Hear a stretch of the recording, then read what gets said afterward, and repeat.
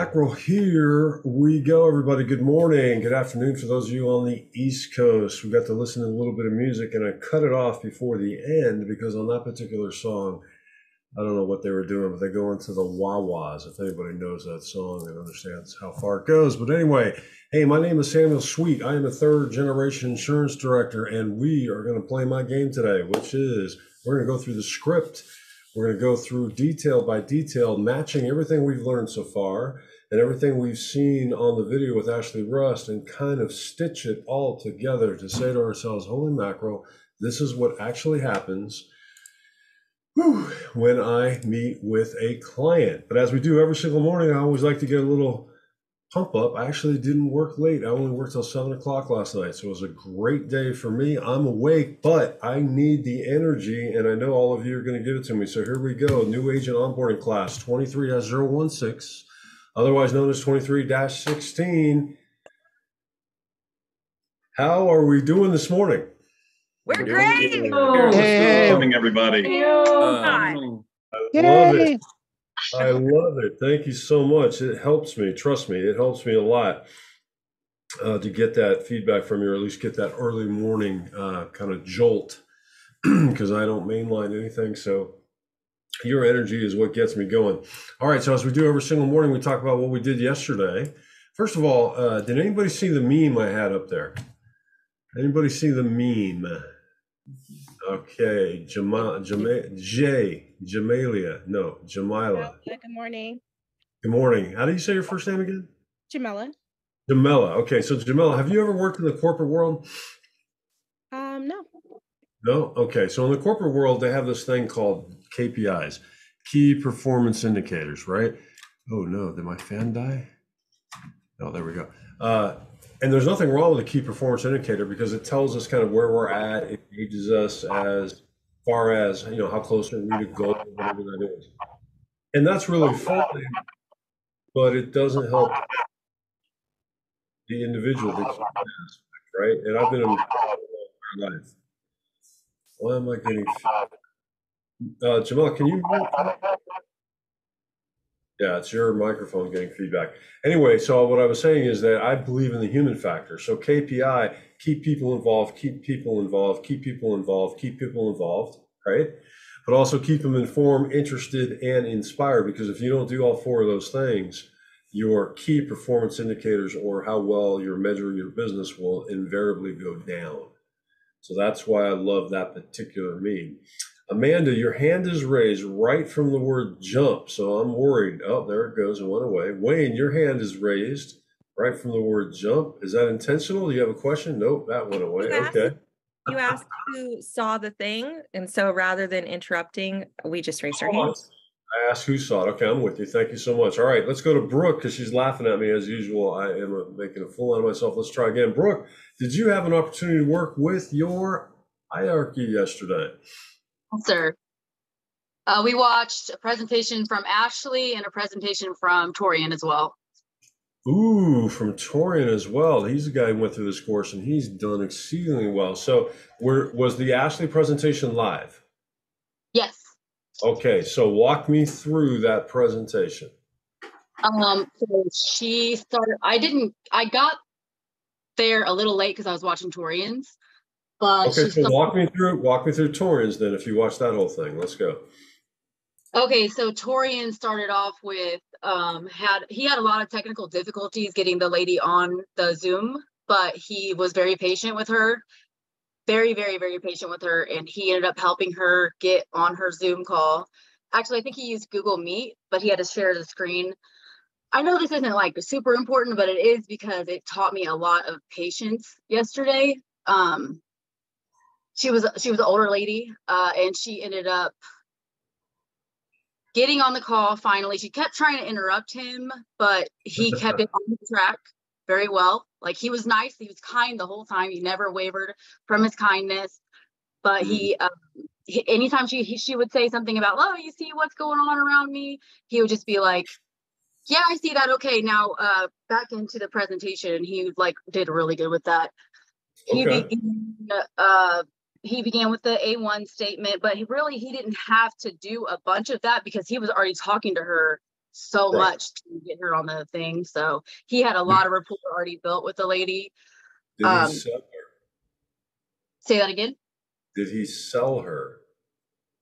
So he did sell her, but he couldn't get her. She could not get back into her email. He was on that call till nine o'clock at night trying to get her to sign email to sign the um Okay, so what did he sell her? Do you know?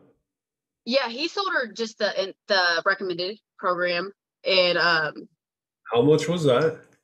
it was hundred and eighty two I think Oh my goodness. So $182 times 12 is equal to 2184 If you had sold that, how much would you have gotten in your bank account next Friday? um I think it fifty percent to start off with Well, multiply 2184, you get 50% credit. So that's going to equal 1092, but you have to multiply that by 75%. Right? oh So because you get the full what, So what happens when you're a agent in trading, which you all are now, you're on a 50% contract, anything that you sell uh, within your first 90 days or your first $15,000 of ALP is at 50% credit, and then you get 75% advance. Okay, the other 25% you don't get because that pays the SAs, the trainers, stuff like that. Okay, once you're either hit 15,000 or you're over 90 days, you go to a 60% contract and you get 100% of your advance, 60% up front and 40% on the back end, like two, three months later. Okay. Yeah, that's awesome. Yeah, I think it was a little lower than 182 because he said he was going to get like 700, but um, that Yeah. might have been after sell was 182. Okay. So how many referrals did he collect? Again, he did not get any because she could not get back into her contacts. He kept telling us like usually I get five to 10. Usually, uh, and she he had people, but she couldn't get back in to get the numbers. So it was probably I think she had Was she on her phone the whole time? yeah Well, there you go, right? So 70% of our presentations are done on a cell phone. Isn't that bizarre? So I want you to think about this for a second. We sold $17 million in July. So I'm not the brightest guy. Let me do my math. 17 million times 0.7 is equal to $11.9 million. So basically $12 million in the month of July was sold via the phone.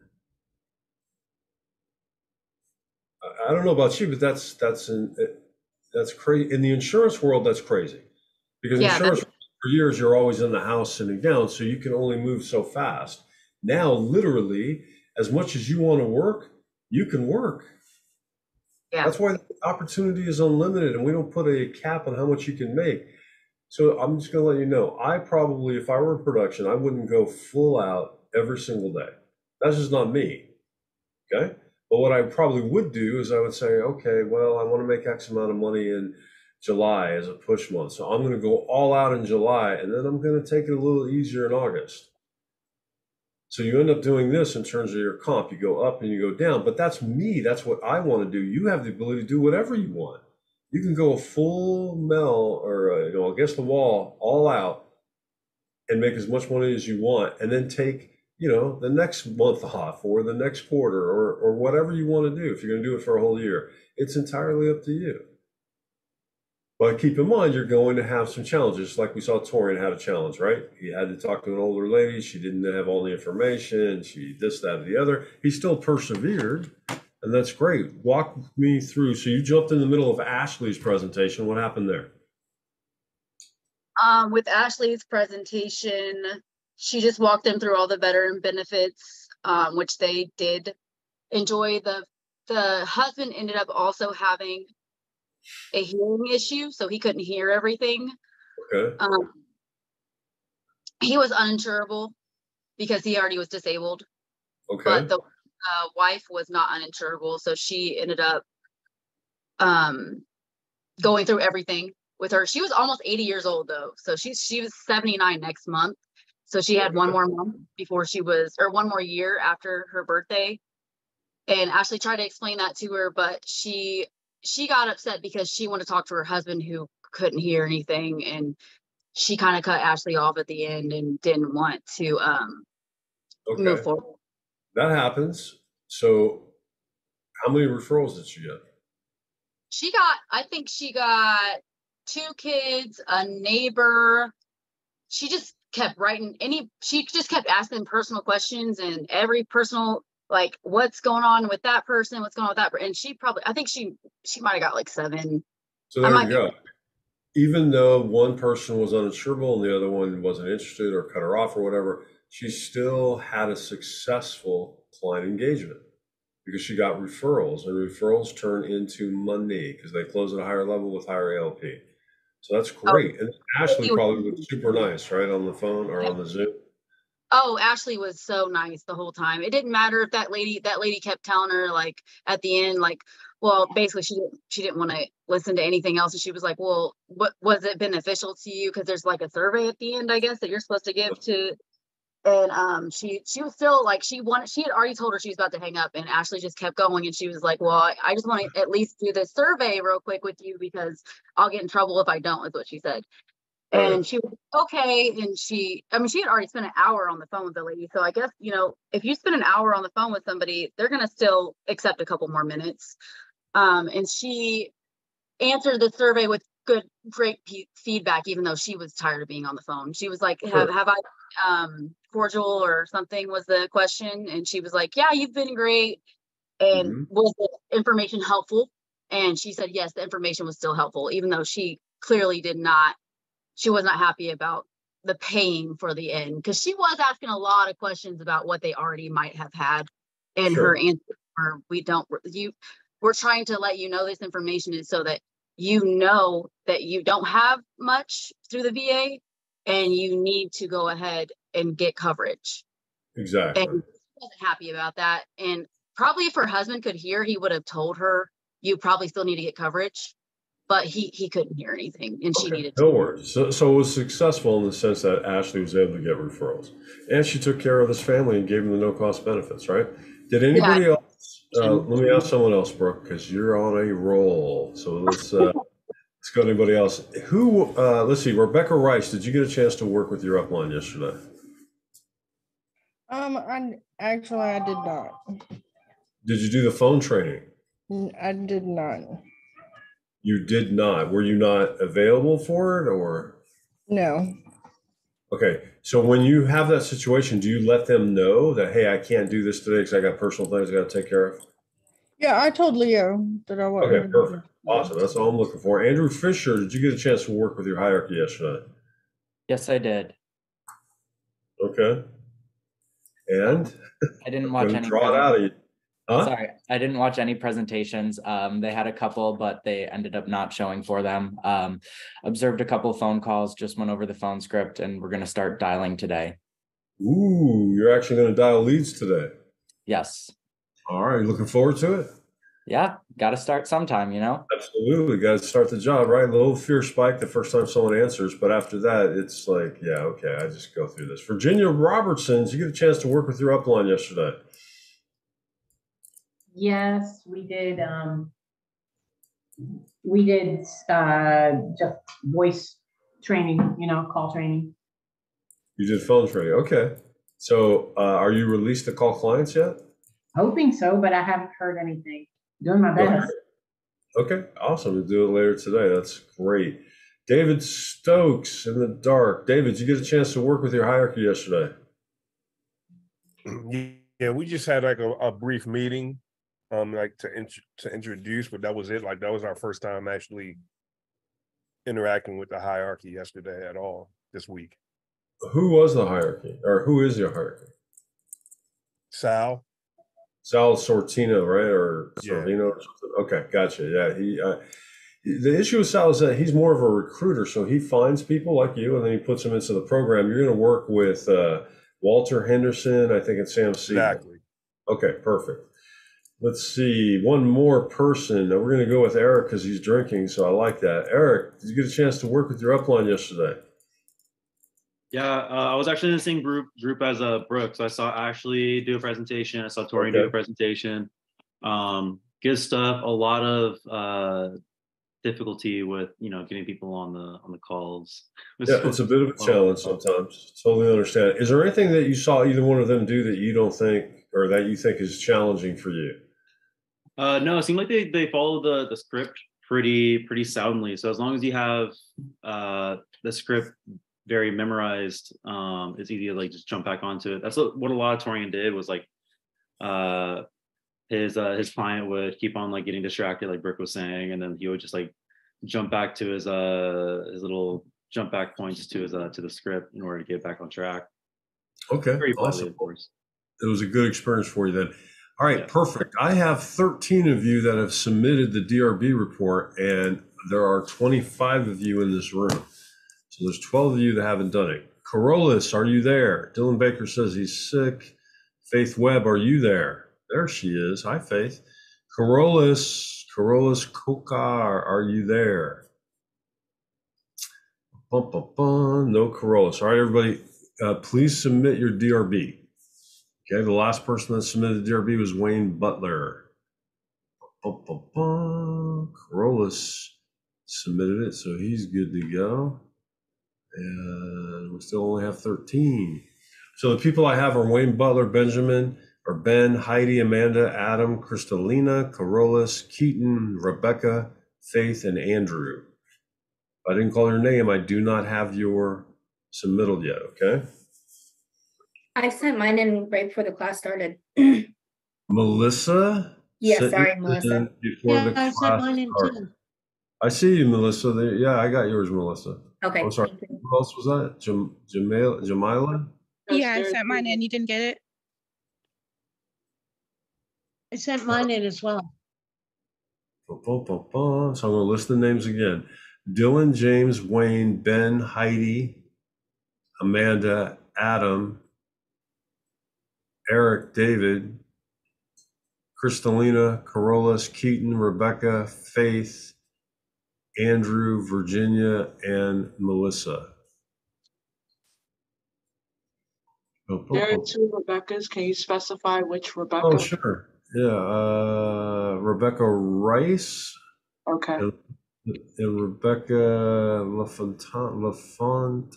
Oh my gosh. It's LaFont. LaFontaine. LaFontaine. Thank you. Bum, bum, bum, bum. Is in. Jason Sen is in. After you submit it, you will shoot. Yeah. After you submit it, you'll get a confirmation email from Jotform saying that you submitted it successfully. If you don't get that email, it means for whatever reason it didn't go through. Okay. All right, so today, what are we doing? It's Thursday. It's kind of moving day. We're going to go through the script, and I'm going to show you how I navigate HP Pro at the same time. Are we up for that? Everyone excited? No, no one's excited. Like, oh my God, the script. But I'm going to walk through. If you have a question, raise your hand, but I'm not going to do it like a presentation. I'm going to do it as if I'm training. So I'm just going to walk through pieces. I'll talk about pieces, and I'll just keep going if you are confused or have a question, I need you to raise your hand because that way I can stop, okay? But we've got to get through the script today. This is the presentation script. This is attachment four, known as the veteran presentation. All right, so give me a second. Let me turn off my key performance indicators. Let me go to, well, let me do HP Pro first. So I can have that up and running, at least that's over there. And let me bring up my scripts. And number four, the veteran presentation. There it is, comes up, that's perfect. And now I'm gonna share my screen. If I can find myself, there we go, share my screen. Nope, share that one. And it should say Google up there, perfect. And I have my first question with my next agent in training in about 13, 14 years. Okay, Faith, what can I do for you? Do you want us to follow along in HP Pro as well, or just watch what you're doing? Well, so you either way, it's up to you. But what I'm going to do is walk through everything, and it, it, yeah, don't enter any information I'm entering in. Just follow along until you can't do it anymore. Eh, How do I explain this? Just follow along. If you want to, you can be in your own stuff. But what I'm not going to do is wait for you to fill in information to catch up. Does that make sense? This is just kind of a walkthrough to see behind the scenes. Is that fair? Okay. All right. So first, I'm going to do is I'm going to log in. By the way, I have my script up, so I'm ready to go. It's right there. Okay. So I'm going to go ahead and log in with my username. So I'm not having the Zoom isn't like in one minute. So I'm ready to. I'm preparing myself to get ready for the Zoom. So I'm going to say it's my name. I'm going to log in. And now Zoom is up.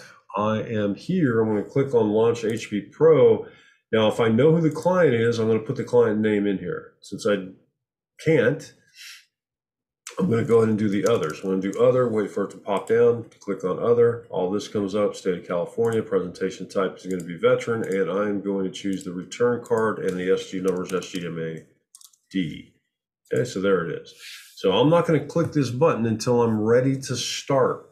Okay. I suggest that you click it once your client is on Zoom. You haven't shared your screen yet, but now the presentation starts. This way you get an accurate time of how long it takes you to get through Zoom. All right. So I'm going to go and click on start presentation.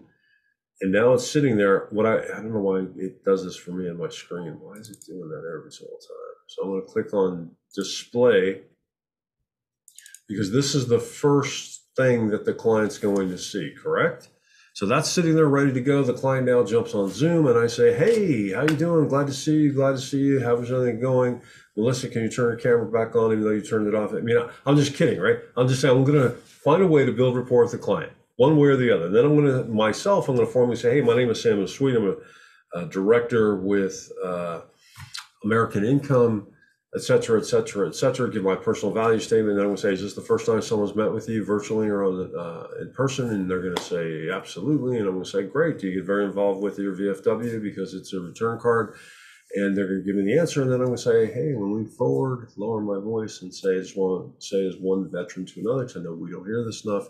Thank you very much for your service to our country. And then I'm going to wait for them to say thank you. Sometimes I see new agents just kind of go through it quickly. Don't do that. Let them respond because they almost invariably will thank you for thanking them. All right. So that gets me through the first part. Then I'm going to say right here, a copy of the letter. What I'm going to do is share my screen. Let me know when you can see it. Do not tell them you're turning your camera off. Just say, I'm going to share my screen and then turn your camera off and then share your screen so that it looks like that's the way it's supposed to work. Because if you do it the other way, then people like some people I've seen it where clients will say, "Well, what happened to your camera?" And now you have to explain kind of what's going on or whatever the case may be. Either way, turn your camera off. Okay, so right here. All right, then the next thing you're gonna do is say, "Hey, this is a copy letter that you received." So now I'm coming over here and I'm showing this letter. I could make it bigger if I wanted to. I can keep it small. It doesn't matter unless the client wants you to do something differently. So it's up to you. And then you just read, hey, the Veteran Service Organizations got together and those were some common concerns shared by all veterans. And my job is really simple one, two, and three. And then at the end, there's going to be a report form that goes back to the VSOs so they know I went over everything with you and got you enrolled today. Virginia Robertson, what can I do for you? Can I help you find the mute function on Zoom? If you can hear me, Virginia, you still need to unmute yourself. it's fine. We'll get by the end of two weeks, you'll know how to unmute. Okay, so um, when you said to turn off your camera, sorry, I was trying to find the reaction button. Um, when you say to, to turn off your camera so that you can then flip your screen, when we watched that other woman do her presentation, Uh-huh. there was still a little tiny picture of her in the upper right. So That's right. if we turn off our video, then they won't see our little face in the right hand corner. Is that okay? Right. but they'll see, can you see my face? Yes. Okay. So when I go to and I turn my camera off, uh, when I turn my camera off, this is what they see. Mm, Okay, it's whatever I put into my profile picture for Zoom. Now, the reason that Ashley doesn't turn her camera off is she's been doing it for a number of years. She's completely comfortable looking into the camera, having a conversation, looking away. She, that's fine. New agents usually are challenged trying to do that because what they're trying to do is follow a script that they just learned. They're trying to navigate through HP Pro with all that information, and they're trying to make sure that Zoom is working. So what they invariably end up doing is they look away and they never have a conversation directly into the camera. So what we found is that if you just turn your camera off For a new agent, your close rate goes up by 25% because you're not killing your credibility by not paying any attention to the camera. Now, you don't have to turn your camera off you don't want to once you're released, but in this class, I want the camera off because I know you're going to do better if people aren't watching you fumble around, trying to read something, trying to navigate. Does that make sense? Okay. Thank you. Yeah, absolutely. Amanda, what can I do for you? Okay, um, I have two questions. So if they are looking at this, um, and you can make it bigger, eh, so if they complain about eyesight or I can't see it, you can zoom in so that they don't. Do they just see the letter or do they see the entire screen like we are seeing your entire screen right now? You are seeing exactly what the client sees. Okay, so we could zoom in so they're not seeing the side bars of all of Well, that. No, no, you, it doesn't matter if they see this. This is fine because you're going to go through all this information. What I talked about zooming in was zooming into the letter itself like that. Yeah. Okay. I just meant the people with bad eyesight that it's already hard enough for them to see and read on their cameras or phones, let alone something that Okay, small. So, yeah, so here's a trick, okay? Most people will not read what you're showing them anyway. And we're not reading it out loud because that's not written in the script, is it? No, this is not written in the script. So all you need to do is show this to them, Mhm. and then you're reading exactly what's in the script. Okay. Okay. And then um another question. I know this will be hopefully uh working with people all over the country, not just our state. But if we are talking to someone in our state, our resident producer state, um and they are within driving distance, are we allowed to do in-person presentations? Yes, you are. However, uh, we'll talk about that next Tuesday about how I want you to do, if you're going to do an in-person presentation, how I want you to do it. Okay, because it's a bit different. And then other question, sorry. Um, That's for the picture in the corner, would it be good to obviously use the same photo from our credentials that we'll be submitting? Yes, I would. Kingdom? I Um, would. Yeah. or should it just be the same photo like you have, or should it be the actual picture of the credentials, including the photo in it? No, it should be a picture of you, not your credentials. I mean, Okay. I, I used to use my badge picture, just so you know, when you order your badge, your picture is Yes. on it and it says you could use that as well. It's just that I work all over the place, and so it's better just to have my brand be my picture of myself. You, it, it's entirely up to you which way you want to go.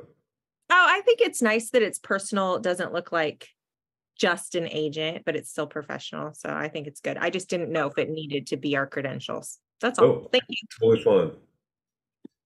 Okay, hold on one second. I have emails going out all over the place. I have agents freaking out. Okay, so we have that part done. Then I said we went through the script, so we're right here. And I just said at the end, there's a report form that goes back to the VSO, so they know I went through everything and got you enrolled today, right? Now we're going to ask this question Do you know why the VSOs want to ensure you're enrolled today? Personally, I closed this letter. It's up to you. You don't have to, but I do because there's no point in showing the letter anymore, right? So now I've got to read the rest of this. Do you know why? Whatever they tell you, yes, no, and I give you a reason, you just say exactly. Number one, they want to ensure it's taken care of. Number two, ensure all other veterans get a chance to be seen. Now, the good news is nothing for you to write down or memorize, so sit back and enjoy the show. Okay? That's how I do it. You can use these words exactly right here. Again, this is a map. It is not written in stone, although some of your leaders may tell you read it and memorize it word for word and say exactly that. The closer you stick to the script, I guarantee you, the better you're going to do.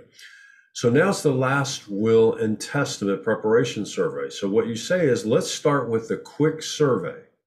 Okay. Can you see it on the screen? So I'm going to come over here and the LWTPS is the survey. So when I click on it, when I try to click on it, this will come up. This is the LWTPS, or the Last Will and Testament Preparation Survey for Veterans. Okay. Then the script tells us, okay, well, start at the beginning of the survey, fill out every field based on the client's responses, and then it talks about VA life insurance coverage. So let's just do it together so you can see. For those of you who had a remember from Ashley's video, we're going to pick household type. In this case, it's going to be married. I'm going to say they belong in the military. They received an honorable discharge, and they don't have to come down here and to asking again on whether or not you received a, a discharge of honorable or general under honorable conditions. So in this case, it's going to be yes. And if I was in a war, or I'm sorry, the client was in a war campaign or expedition, in this case, I'm going to say yes. The war service was, hmm, war service was what? I don't know. Where could it be? Where could it be? It would be in Europe. Okay. Rank of discharge was, I'm going to say staff sergeant. If I can find it, there it is, because we're actually using me. And now this is the VA insurance coverage. So this is where we're asking this question. Have you been able to enroll into your veteran life insurance? And if the answer is yes, we say, okay, great, which one? Because when you click on here, there are two of them. One is the Veterans Group Life Insurance, and the other one is the Veteran Affairs Life Insurance. Hold on one second, Melissa. So, Veterans Group Life Insurance is where you transition your service members group life insurance into veterans. So, when you got out of the service, you transition that. If you didn't do that, you still have the ability to get insurance through the VA. It's called Veteran Affairs Life Insurance. A little bit different, but you can still do it. So, we're asking which one. Invariably, we'll get told no coverage. But if they pick one or the other, no problem. Just choose the one that they tell you. Melissa, what can I do for you? So, and I'm just asking because I know, for example, my husband, he served in two different, um, two different combats, two different countries. Um, he was a different military rank on each one. So if that comes up and they say something like that, Well, what- hold on a second. So he only has one rank at discharge. okay, that's why I was asking the question. The question. question is not about what rank you were at the time of the war. And in your case, if you have somebody like your husband, you just say, what was the last one? Okay, were- Okay. okay, thank you. hmm So now we're going to go through here and we're going to do the client information. So again, I'm going to go with the singer. He's going to be Tom Jones. His birthday is 0101 1990. His gender is male. It's going to ask, do you have any adult children or dependent children? So adult children, you can fill this out right here with their email address and all of that. So let's just go ahead and do that. His name is Sean. His last name is Jones, and his birthday, remarkably enough, is exactly the same. How is that even possible? No spouse, no last name, email address. We need the email address, right? So we're going to say john at gmail.com. And the phone number is crucial because it's the only way we can get in contact with them. So we need to put something in here. The city is San Jose in this case, and the state is absolutely crucial because the state will tell us whether or not, uh, well, if you don't have the state, then you don't know if you can sell to them because you're licensed by state or by province. Okay, so we're gonna pick California, and we're just gonna follow that up with the zip code. Now we're done. We'll click save. Now I have an adult children. It gives you the number that you filled out.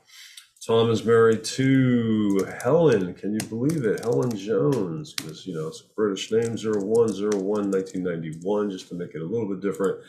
I'm going to say female. There is no dependent children in this particular case. And then we go to Tom's employment. So Tom works full time. He does sales in his annual income. See, now it asks for annual if you do the survey. And we're going to see what the impact is when we get to the needs analysis screen. In this case, he makes $110,000 a year. Helen is employed full time as well.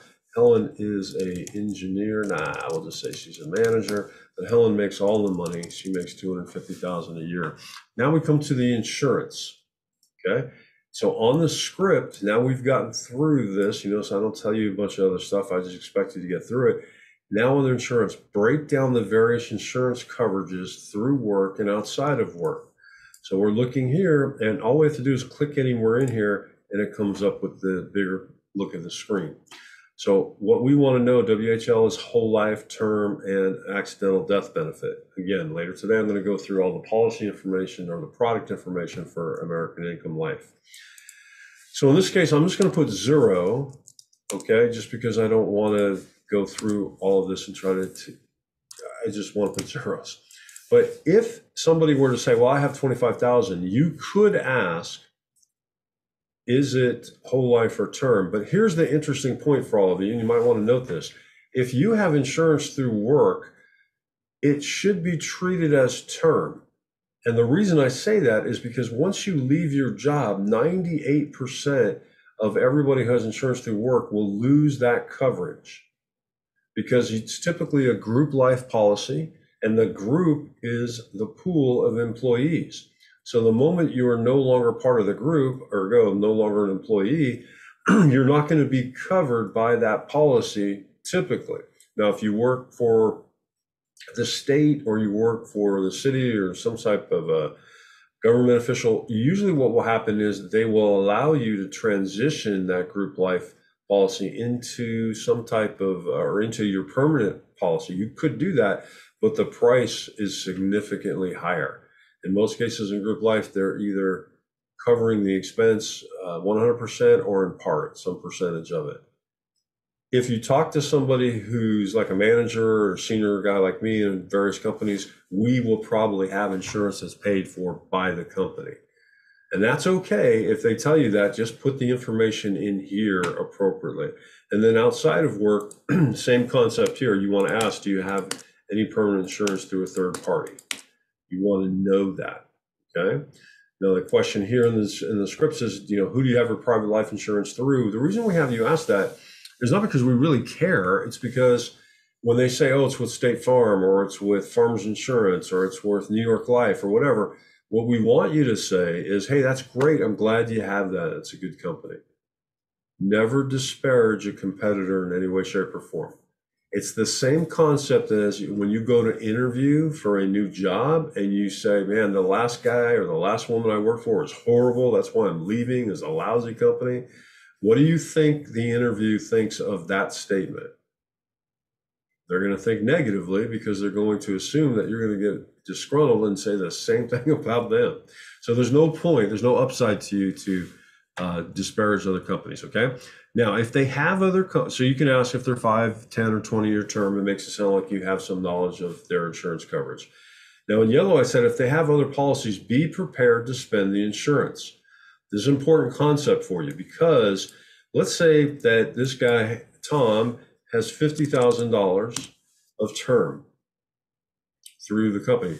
In my mind, there's two things I'm going to do. Number one, I'm going to point out that, hey, when you leave that company, it's going to be gone. That's one thing. But if you die while you're still an employee, yes, Julie's going to get paid out, but you aren't going to only want to cover $50,000. If you have a house, if you have uh, kids and you have something you have to do, if you have, like I said, the mortgage experience, if you have anything else where you want to leave benefits for your children or your wife or your husband that is greater than 50,000, then 50,000 is not enough. So whenever I talk to people, I usually look at the need, right? I'm trying to understand what I think they possibly would need. So let's say in this case, I'm talking with Tom over a period of time. I finish this, I get through everything, and now we're talking about the needs analysis. I will remember that Tom has a policy for $50,000. When I look at his need, I may determine, hey, Tom, based on the fact you have a half million dollar home, that's 500,000, and the fact that your wife says she wants to stay in it for until she dies, if you die tomorrow, she's only getting 50,000 of which 20,000 is probably going to be spent immediately for your funeral fund expenses. That leaves her with $30,000, right? If she can't work or she doesn't work or something like that, she only has $30,000 to spend. The monthly nut on that house and the monthly payment on that house is $2,000. That means she has two years before she has to sell the house. That's how I would spend that insurance. Does that make sense to everybody? Everyone, Virginia, are you tracking with me? Virginia, I can't see you, so you have to say something. Virginia? The thing, hold on. Yes, Okay, You can't see- perfect. No, well, I, I have the, when I'm sharing my screen, it's difficult for me to see everybody because I'm all over the place, okay? So now we're at the script. We have actually, we were prepared. We're going to remember if they have insurance. And then we ask them, why did you purchase this insurance? Because we want them to sell themselves. Well, why did you purchase that 50,000? Oh, you know, I wanted to make sure I took care of my funeral fund expenses. So now in my mind, I know that this guy believes in insurance, right? It's not a bad thing when somebody has insurance, but I told you Helen has none and Helen makes the most money, hmm. right? So now I'm thinking, well, we got to make sure Helen's on point because she has no insurance anywhere. So if she dies, then Tom is going to be out of luck and he certainly can't afford to keep that house forever, right? So that's how I save the insurance. I'm going to click save. And now that part is done right here. I'm going to move into the banking. And I'm just going to get that done. Hey, do you have checking and savings account? Yep. How many do you have? Oh, I have two checking accounts and one savings account. Okay. Put that in there. Put that in there. Good. Do you have any investment accounts? Nope, we do not. We live paycheck to paycheck. And I'm thinking, wow, with uh, 360,000, that must be a tough life. Then we look at their property. When I click on anything with the property, this will pop up. Okay. And now I just need to fill this in appropriately. So I'm going to say, do you own or rent? We own. How much is your monthly payment? It's $3,000 a month. The mortgage balance is 675,000. So now you see right off the bat in my head, I'm thinking 50,000 of insurance not going to cover this guy. Right? The rate they got was 2.3 and they have 26 years left. So they just refinanced this thing or they just bought it. So now I click save and then I'm going to say, okay, Tom, what funeral instructions do you want? You want to be buried, cremated, or mausoleum? And he's like, oh, I want a mausoleum, but uh, the wife's not going to pay for it, so I'll just do a straight burial. I'm like, okay, cool. And then I ask her, and she goes, oh no, I'm getting a mausoleum if I die because I make the most money. I'm like, okay, that's cool. And then where do you want to be buried, national, state, or private? They both want to be in private. So now I believe I've got this all done. It's all filled out and ready to go. Now up here in this upper right hand corner, I could click on that if I wanted, and it's a message from the Service Members Benefits Organization. So let's click on it and see what happens. Mm-hmm. Hi, I'm Ward Clapham, founder of America Wills. Congratulations on taking this step to plan your future. A will is a legally binding document that allows you to control what will happen after you pass away. We have partnered with American Income Life Insurance Company to walk you through how to complete the survey, questionnaire, and issue your will kit. Please take a minute to complete the report form, as this information helps us serve our customers more effectively. Thank you. Hi, I'm Ward Clapham, founder of America Okay, wait, Wills. I'm gonna hear you. Congratulations on taking Thank you. So you could play that video if you want. Uh, anybody watched Ashley and Torian? Did they play that video? Just speak out because I can't see you. No. Did they play the video? No. So you don't have to do that. You could if you want. It just depends. I personally don't play that video because I already have them in the Zoom. I don't need someone else to build my credibility. Right? That's my thought process. So I've come down here. Now I'm at the end. if everything is filled in correctly, maybe there's a note I want to make to myself. So I can click on notes and I can add a note about whatever. Now, the client's seen all that, so whatever note you put in there, make sure that they're not going to get upset with what you're saying. Hmm. Now I'm going to click on complete. If I click on complete and I get this, it means that I have missed something. It is telling me that there's a required field that I haven't filled out. And the when I go and look, I'm like, okay, where it is. So you can see right there's one highlighted in red on the outside and then yellow. And then I have one right here, red and red. So I didn't fill either one of those out. So are you a current VSO member? Nope, they're not. And then if I scroll down here, they do bank locally for checking and savings. Okay, so let me try to do complete one more time. Ooh, I'm still missing something. Where could it possibly be? Where could it possibly be? Trying to find something. Oh, VSO membership, not a member. I think that covers it. Let's see. All right, now that covers it. Then you have a button that says save and exit and view recommendations. Please do not click on view recommendations. Please do not click on it because if you click on it, it does this. It comes up and it says, hey, we need to issue the family information guide, the no cost legal will kit, and complete your family insurance needs analysis. So we're doing that anyway. Telling them we're going to do that at this point in time really doesn't help. But then we get this thing that says survey considerations. Uh oh. What does this mean? Let me ask uh, Melissa, what the heck does this mean?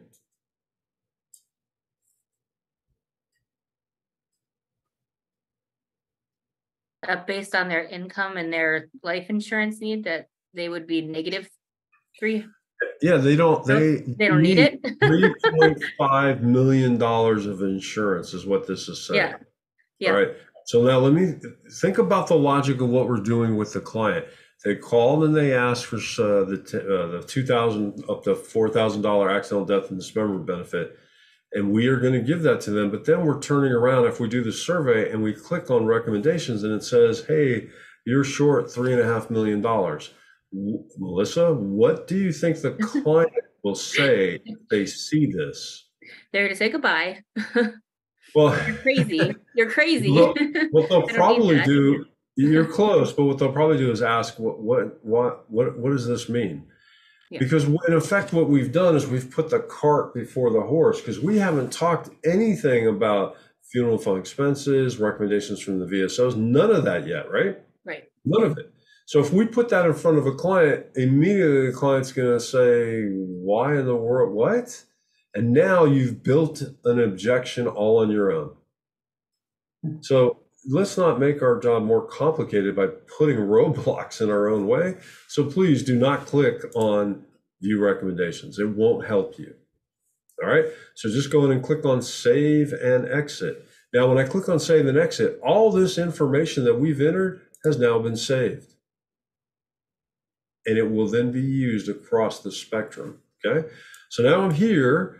I've compl- I clicked the complete button on the bottom right, and now I'm going to show the AD&D certificate. So I'm going to come over here. I'm going to click on this thing right here, which is the AD&D certificate. There it is. Now, if I'm talking to a client who is a lead, their name will show up here in their own handwriting because we digitally scan every single one of these return cards.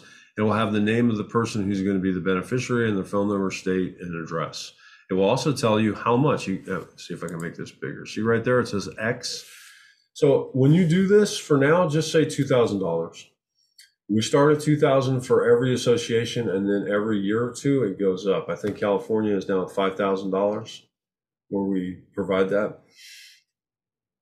So in the case of us practicing or doing the presentation rubric, whatever the case may be, go ahead and uh, use the two thousand dollars. Okay. So that letter comes up, and now I'm in the script, and I'm saying, "Hey, now this is your two thousand dollar accidental death and dismemberment certificate. It's non-contributory and non-participating." You should practice that word, non-contributory, because some people can't pronounce it, and they say, "Oh, it's non-contributing and non-participating." Right? So it's non-contributory, which means it's already been taken care of for you. All right, so there you go. And then uh, if it's a return card, which in this case it is, you listed Samuel Sweet, of course, as your beneficiary. Is that the way you like to keep it? Absolutely, you will. And then you say when you get the email, what you're going to send them, there's nothing else you need to do. It's already in effect. Just print and store it and make sure your family knows where to keep it. So when you're done with that, you're going to move to the family information guide. So what you need to do is up here in the upper right hand corner, you need to click on that down arrow with the line underneath it. And then the things will do that. And then it will come back and tell us where to go. Why can't I see it? Is it? Nope, that's not it. That didn't work. The control J. Control J. Yeah. Oh, thank you. Look at that. So there's the certificate. I I learned something new in class today. So now I've got the Group A D and D certificate there. So when I click on it, that's a PDF file.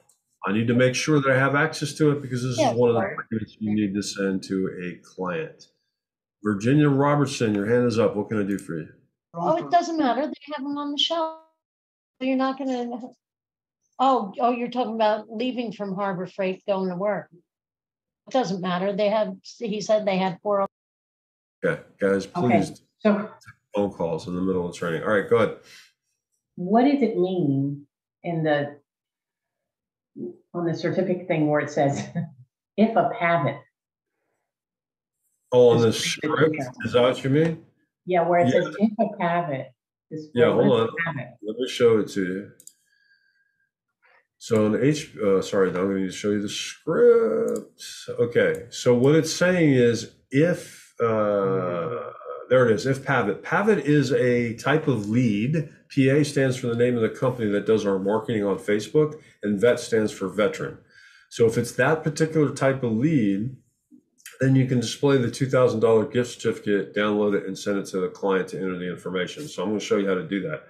A return card is a type of lead where we have a relationship with an association or a VSO. They send the letter out to every member, and then the member responds by saying, Yes, I do want the accidental death and dismemberment policy.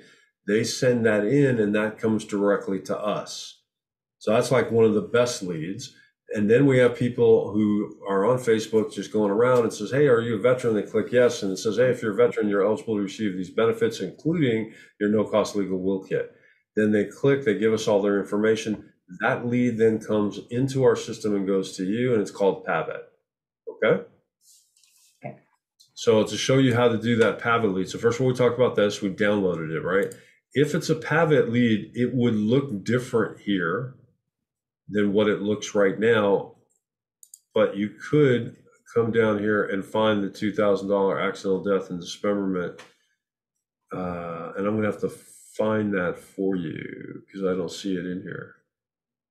Probably because it's under, uh, it's a different code. It's under Pavet. So I'll show you that a little bit later, okay? There's a different way that you do that. Okay, so now we're going to do the family information guide. I'm going to share it. So that's the very next thing in line after the group AD&D is right there. I'm going to click on that. Now, when that is there, I say, hey, this is your burial and will kit for veterans, the first section here. And as I'm saying that, I turn the page. The first section here is all the updated contact information and phone numbers for quick access. They want you to have anything in red applies to your VA burial benefits. Then I turn the page. When I turn the page, notice that Tom Jones is right there. And the information from the survey shows he was in the Army in Europe as a staff sergeant. Adam, what can I do for you? Yeah, uh, back to the AD&D um, benefit page for the person. Uh, in the script, it is asking to confirm, is this still the beneficiary you want to have? Say that's not the beneficiary. You just say, okay, and then later on change that? Because I know we download that paper. Or is there a way to edit that paper right away too? No, you're not going to edit that paper. What happens is that's still the individual. And then what you want to do is when you sell the insurance, make sure you get the correct name that's going to be here. Okay, sounds good. Thank you. Okay. Yeah, no worries. Ba, ba, ba, ba. All right, so we're here. Do I have any other questions? No. Hold on one second. What's going on?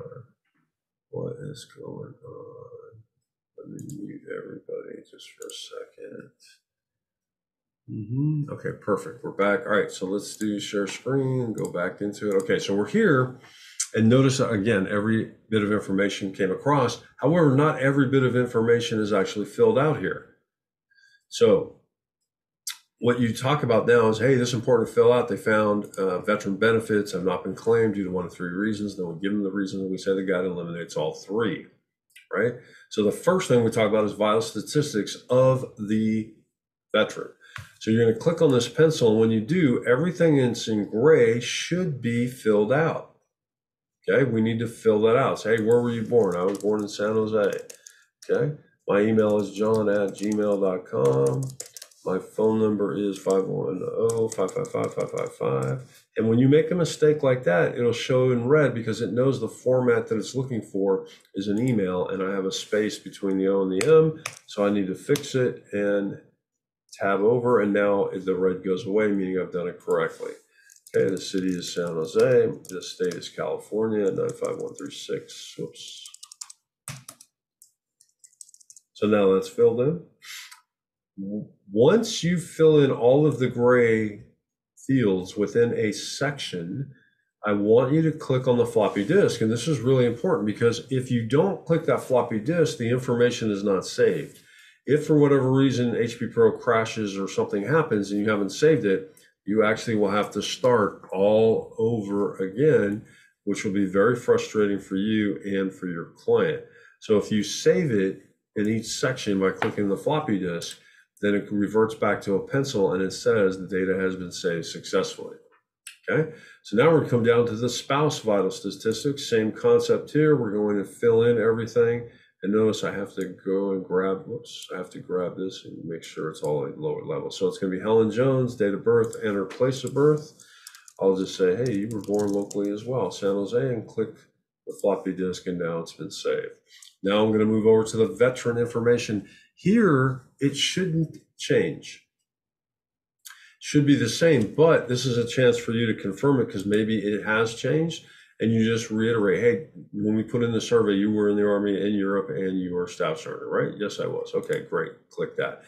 Then we come to the veterans to be notified. So again, in the script, I am right here entering information for the veterans to be notified, but I actually say the word. So the veteran service groups have found that it can be difficult for civilians to work with the VA. So the reason we're getting veterans here is not that we're sponsoring veterans into the program, it's that in the family information guide, whoever's going to take care of their affairs are going to reach out to veterans that they've listed to help them with the VA. Maybe get the flag, get the medals, arrange for the burial in the uh, national or was it Arlington National Cemetery, whatever the case may be. It's easier dealing with the VA if you have experience in the military. That's all. So that's why we have it in this particular format, and then we're going to fill that out. So we're going to click on this, and we're to say, "Hey, what's their name?" And then you're just to ask, and you're to say it's. Um, Kevin Bacon because he spent time. And if you click here, it gives you the different options if you want of people who were in there. In this case, we're to say he's a service member, he was in the Army, and we're going to get his phone number. Miraculously, it's the same as everybody else's. And he's local as well in San Jose, California, 95136. Okay. Now, when you fill this out, you can get down to the bottom here you can fill out four people if they give them to you. If they say, if they just keep giving you veterans, you keep giving them veterans. What I don't want you to do is I don't want you to say, hey, do you have any veterans that you think we should put in here? Don't do that. Remember, you're the one that's in control. This is a requirement of the VSO to fill out. So you're just telling them, hey, we need to put four service members in here. Who's the first one that comes to mind? Pull out your phone. This way they'll be notified should anything happen to you.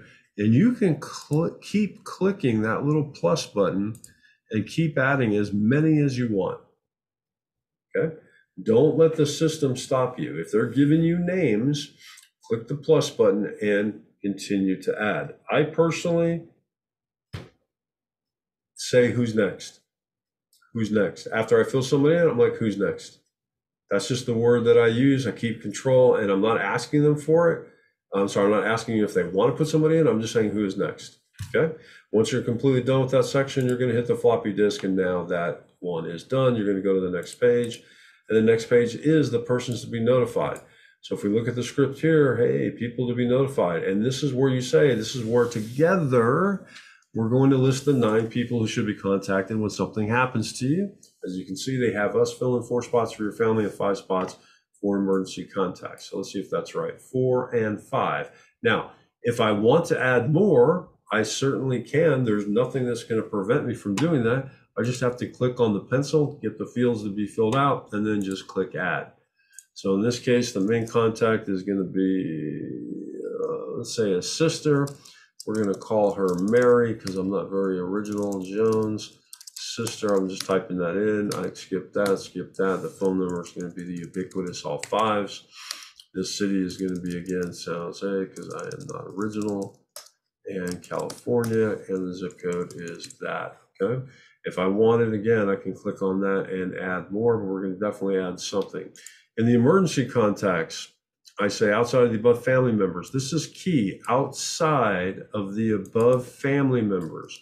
Sometimes I've heard uh, new agents talking to clients and they'll say, okay, who do you want as merchant contact? And the client gives them the same names that they put above. And the agent doesn't even realize it. So these need to be different people. That makes sense, right? Because you are, it makes sense for the client too, because they already have the names and contact information. We need somebody new and different. So if they say, well, we have my kids, it's all done. Okay, well, who else should we contact? in an emergency. And they'll say, Well, I don't really talk to anybody or whatever they'll tell you. So help them, right? Well, do you go out? Do you shop? Do you say hello to the shopkeeper? Do you go out to dinners or restaurant that you go to? People that you would want to know if anything were to happen to you. Oh, yeah, I do talk to such and such, or maybe I have visiting angels come and visit me, or, you know, help them fill this out because it's for their benefit, right? All right, so once you have that filled out, we're just going to add emergency contact here. In this case, we're going to go with Samuel Sweet because he is uh, the man. Let's go with that. Okay, so you can see you can type in anything that you want there. Phone number is the ubiquitous 555s. And I live in, uh, again, I'm not very original, so San Jose, California, 95136. Okay, so you can type in whatever you want for the relationship. Now that we have all that done, we've done the emergency contacts. The script is telling us, okay, what do we do? We turn the page. Oh, okay. So we turn the page. That means turn the page actually here. So now we're in the financial institutions, and then we say, you don't say the word financial institutions. The blue is just the breakup, letting you know we're in a different section. And you say when you receive the family information guide, you will enter your financial account information. This way your family members knows which accounts to close. You talk about the last will and testament. Do you have one in place? Yes, I do. Great. This is where you can list where your will is located. If they said no, no problem. We're going to cover that in the next section. And then all your insurance policies go below. Provided you can qualify for affirmative benefits, you can write those in pen, digital accounts, and funeral instructions. Okay, so we're now here. We've gone through this. We're going to turn the page. And when we turn the page, digital accounts, funeral instructions. So I'm going to click the little pencil, but the only thing I can choose is burial, cremation, mausoleum. So what I use, used to do, and you can do it, doesn't matter how you do it, but what I would usually say is, hey, now that we've kind of gone through this, have you considered getting yourself the mausoleum that you deserve? Or something like that. Because what you just want to do is confirm, no, no, I just want to be buried. Oh, okay, great. So we're going to do that there. So you got the burial. And then you say, then you transition right into the freedom of choice, right? So here you are, you've done that. Now you're going to display the freedom of choice. So as they tell you, no, no, I just want to be buried, then you can say, hey, that's great because, and take your cursor and move it right here. Everyone see that? It's tough to read, but it actually has the letters FOC on it. It's a little icon. You're going to click on it and you say the VSOs have set up the freedom of choice. And as you say that, scroll to the bottom because it is incredibly powerful when your name is right here. Otherwise, it just looks like another form. But the moment someone sees, like, oh, wow, your name is on there, they pay attention. It's a psychological thing. So now you're saying it takes care of either your blah, blah, blah, blah, your earth burial, cremation, most importantly, all the final expenses that come after, quote unquote, the funeral cost. And they're going to have me run through this with you before we wrap up. And then you tell them what we just did. Hey, the funeral or the family information guide is like a roadmap. It's not necessarily for you, it's actually for your family. So when something does happen, they know what to do step by step. And then you're just going to confirm they understood everything you just did. Does that all make sense so far? Cristalina Reyes, ¿cómo estás? What can I do for Good. you? Uh, everything does make sense. Uh, it's just a question. It's probably a silly question. That freedom of choice, even though they don't purchase uh, a policy, they still get that, right?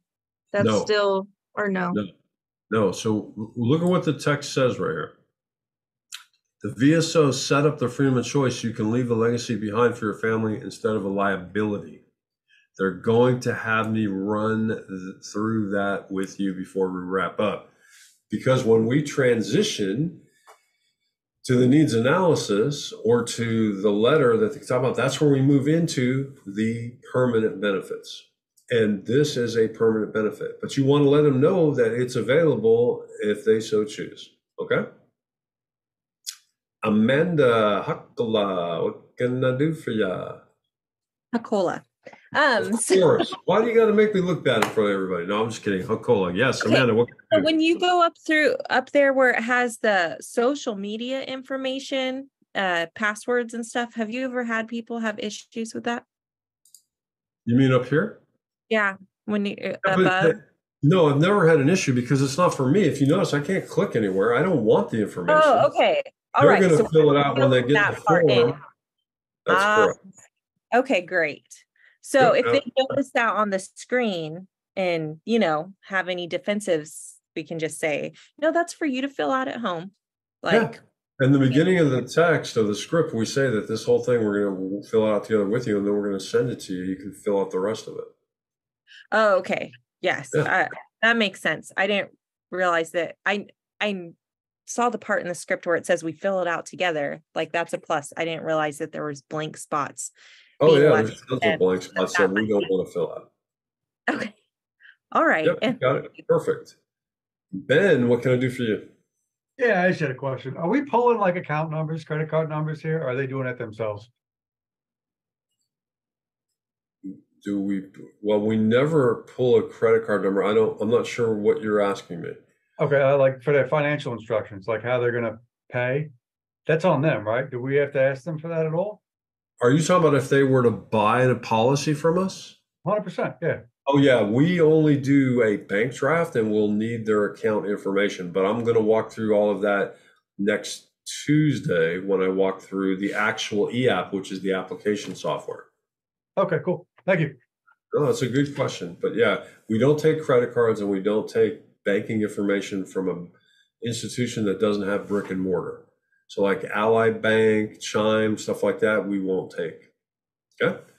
All right, so now we've gotten through this, everything looks good. We go here to the script. What does it tell us to do? Blah, blah, blah, blah, blah. Oh, download the family information guide so you can email it to the client once you finish the presentation. All right, so I'm here. I filled it all out. I don't close it yet. I click that little button and then it does this little spin thing. And then I learned today if I hit Control J, right? Control Yes. J. Ooh, there it is, the family information guide. But let's look at it to make sure that it's actually the one that I expect to see. Oh, wow, it's all blank. Oh, it's filling in slowly but surely. Is it filling in? Mm-hmm. Filled in this stuff but it hasn't filled in. Maybe I went too fast. Maybe it's not fully downloaded yet. Save first? Did you save and then download? Maybe you needed to do that.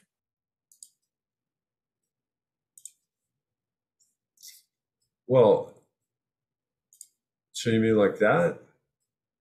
Dun, dun, dun, And then I download it. Let's see, Control J. This is done. Well, what it's supposed to do is download this and have all the information here, but for some reason, it's not actually doing it. Does the company have IT support for Yeah. us? Yeah, But well, Uh, they when don't you say work- IT support, what do you mean?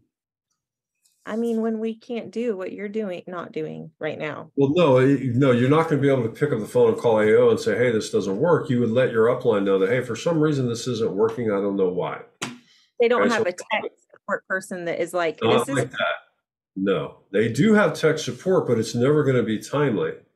All right, now the family information guide is there, and yeah, see, so I'm having issues maybe because it's fake, but basically this entire thing would actually be the family information guide with all the information that I entered. So right now it's getting a giving us a bit of a hiccup, but trust me, it works. I know it doesn't look like it right now, but it does actually work. So I'll try to figure out why, what I did wrong. Brooke, what can I do for you?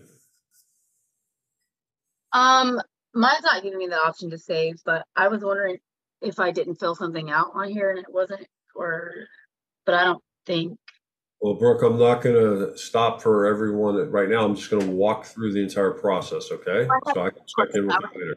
I was wondering about the red area. Do we have to fill that out? The What veteran, red area? Down here? uh, yeah, that. No, because in the script it doesn't talk about the red area at all, right? It just jumps from digital to funeral to the freedom of choice, and then you're done. Okay. So so th- that's They're going to fill out anything down here. Okay. Okay, so once you've downloaded it theoretically and saved it and it actually was populated correctly, you're going to go ahead and click X so that that one closes. And then you're going to come here and go to page six, which says the last will and testament. So the very next thing is the last will and testament. I'm going to click on that. And now this one comes up. Now I'm going to read this here and say, hey, this is your last will and testament. Do you know how much normally cost? And I'm going to go through all of this. I'm going to turn the page. I'm going to verify the information here. So when I go to verify, I can click on that again and this will show up and I can add additional stuff. When we watched Ashley do it, she didn't do this. She didn't click on that. So it's okay. It's up to you.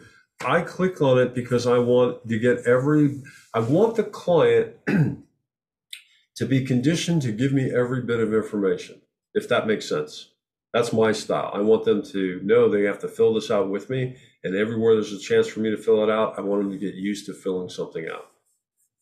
Okay, because in my mind, I'm trying to get them to answer yes every single time. You doing this? Yes. Here's the thing I need here. Yes, yes, yes. So when I get to the closing question, they're actually more likely to say yes. Proven fact. The more you can get someone to say yes in a sales engagement, when you get to the close and ask them to buy something, they're more, they're actually predisposed to say yes than if you didn't do that. Wayne Butler, what can I do for you?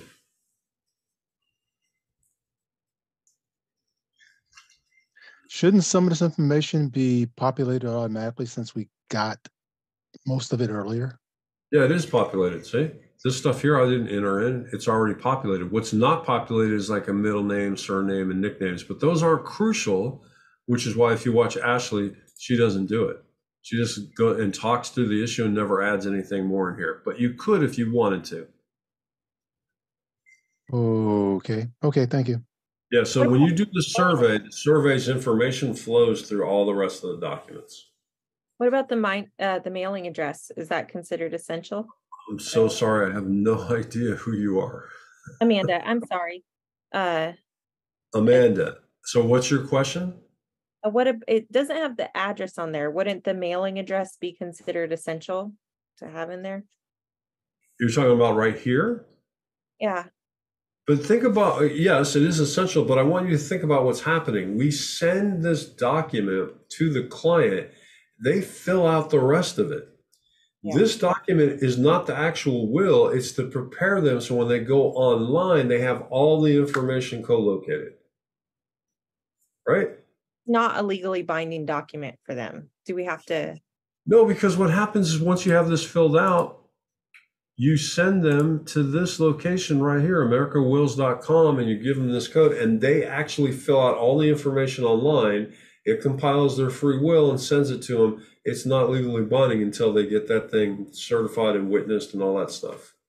Okay, um, the, okay, so if we miss a spot over here, or, you know, for the non-essentials, it's not a big deal, because they can do it.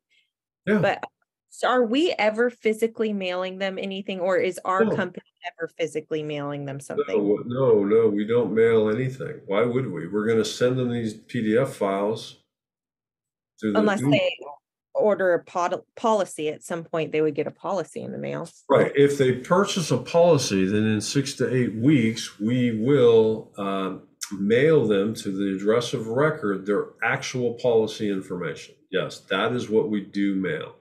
So on the, but we email everything. Um, on the other phone script for when we're trying to book appointments, these Zoom meetings, Mhm. um, and they at, say one of the responses is to send it in the mail. It's like, yes, I'm going to do that right after that. We're not doing that. We're, or is the assumption that that's an email? The assumption is that is an email. Okay, but it's not legitimately mailing something right after this. No, It- you, so we used to, right? But now we're moved into the digital age, so we're going to email it to them because we have their email address. Okay. All right. I'm just, I just want to clarify. I want to make sure I know everything. Thank you. Of course, no problem. All right, so now we've walked through the uh, information about the will kit. We give them all of this. We say your free will to be notarized. States most states require two witnesses that are not named in your will. The reason I included this is because this is yet another opportunity for you to get two additional referrals. Right? Because if they're not named in your will and all you ever gave me was family members, you got to give me two other people. They probably will say, Well, I don't know. Or sometimes, sometimes they'll say, Oh, you know what? I can have Frank and Dave do it. Oh, okay, cool. Let's get Frank and Dave's information. That's it. It's just another method because in my mind, we should be re- trying to collect referrals from the moment they're on Zoom until the moment they leave. Yes, Wayne, what can I do for you? Don't we have to tell them that they're referrals or is that automatically? Automatic? Uh, I'll show you when we go through the script how they'll know that they're referrals. Okay, Okay. So we Okay. do tell them, and I'll show you how we do that. Okay. All right. So now I'm going to download the last will and testament kit. Let's see if this one will work this time. So I'm going to click on that. It's going to do that little spinning thing, and then at some point it will uh, actually be updated, and uh, I can download it. So I have to wait. Now, when this happens, if it takes a while, you just need to fill the time. Hey, we're just waiting for the system to catch up. Oh, okay, there it is. So this one's pretty big, 8.4 Holy mackerel. So I click on that. Oh, yeah. So that's filled out. And now look, the first name, there's Tom, there's Jones, right? So now we see it. This is now legit. Now it will look better than this. For some reason, there's something going on with our system. But even if you sent them this, it didn't look very good. At least it has all the information that they need to be successful to actually get their will kit right there. Okay. So, uh, and I'm saving this into a certain locale. And I told you the way that I save everything is I put the date. So today would be uh, 081023. And then I would put the names of the people I talked to, uh, whatever their names were. I forget. I made it up, right? What was these guys' names? It was Tom Tom and whatever the wife's name was, but and we'll go from there. Uh, Brooke, do you have a question? Yeah. Um, I was wondering when you ask them who will be the notaries and they come up with a couple people, where do you write down that information for the referral if you're in the will? I want you, I want you just to write the name down on the side on a piece of paper or put it into Excel or just notate the name and save it for a minute. Okay. That's all I want you to do. I'll show you where we're going to enter all that information in. So now that I'm, oh, I'm sorry. Do I have another question? Amanda? Amanda? I don't know if this is the same question, but so where the witnesses were that we write those down, um, if if they'd rather have a notary, we can, they can, we just write that down separately. Is that the same as what? No, no, was- okay, so understand what happens with the will. You need two witnesses regardless. And the only way that will is valid is if it's notarized. So I don't need the notary. What I want are the two witnesses. If they know who they might be, then I want to write their names down. More often than not, oh. they'll say, I have no idea, and that's fine. Okay, so it's a requirement to have both regardless. So you're just Yeah, in them. any state, you are required to have a witness to your will, and you have to notarize it. The notarization is that somebody has verified your ID, mm-hmm. that you're legitimately who you say you are. Okay? Yeah, I'm, a notary, but I didn't realize that there had to be a two witnesses. I thought it was one. So I'm sorry. It could be one depending on what state you're in, but typically we ask for two because a lot of states require two. Okay. So that's what we say two. Okay. All right. So now that that's done, I'm going to go ahead and download it. Then I'm going to close it. And the next one I'm going to go to is the three important facts. So I'm going to click on that. And now the it's only two pages. First page is all the information. So on the script, I'm going to go through here. I'm going to say, okay, the next thing they have us do is talk about the important facts. Oh, I'm sorry, jumping around here. To uh, right there, number one, number two, number three. And then we tell you exactly how much money you're going to get, all that stuff. And then we say, hey, do you have any questions about these burial benefits? So once you've explained that, they'll say no. And then you're going to turn the page. This is not the same as the veterans that we listed before, because those are people who will help the family interact with the VA. These are people that we want to actually have in the program according to the VSOs.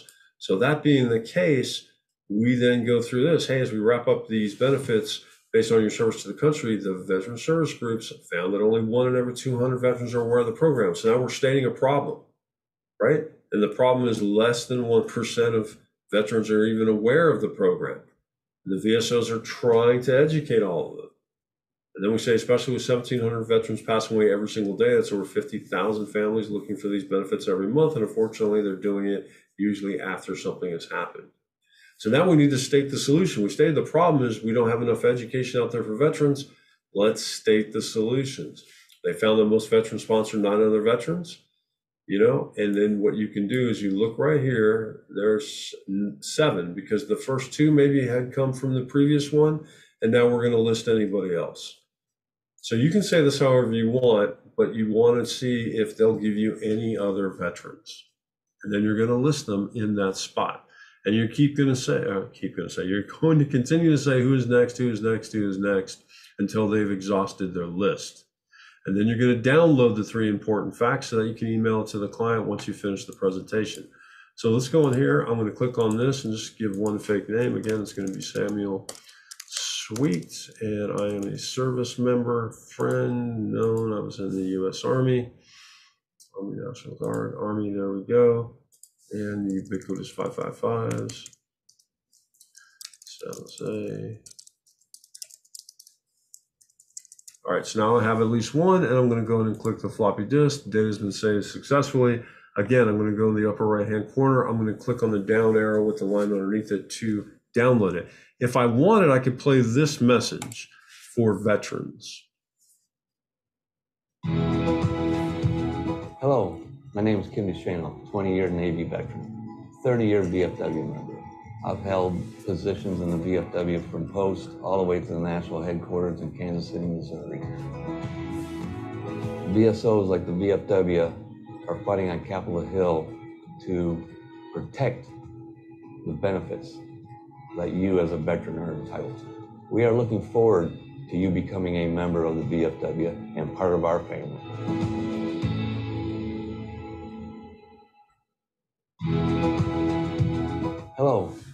My name is 20 years. So he's playing it again. You don't have to necessarily play that, but you can if you want, if you felt it'd be important. And usually I do that if people are like, "Hey, I don't, I don't know anybody. I'm not interested in doing that."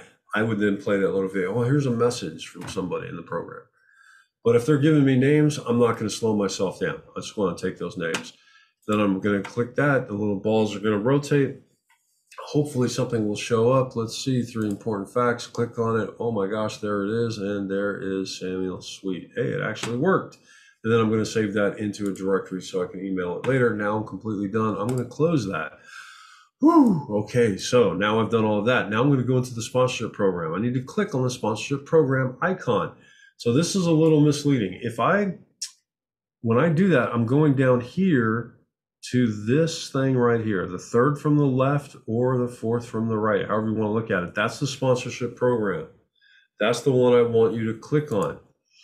Do not click on this sponsorship program because if you click on this, all it's going to do is show you what they get. You don't need to do that because I'm going to show you how they're going to see this anyway. Okay. So don't click on the, that one. Click on this one. That's the key. So I'm going to go ahead and click on that one. And now this shows up with this screen. Okay. So let's look at the text. It says everyone you mention will automatically receive access to the veteran benefits we just uh, covered. So as you're saying that, they're looking at this screen, hopefully on their phone or whatever. What I want you to do is click the word activate. Every time you click the word activate, this number increases to 2000 and this no longer is grayed out.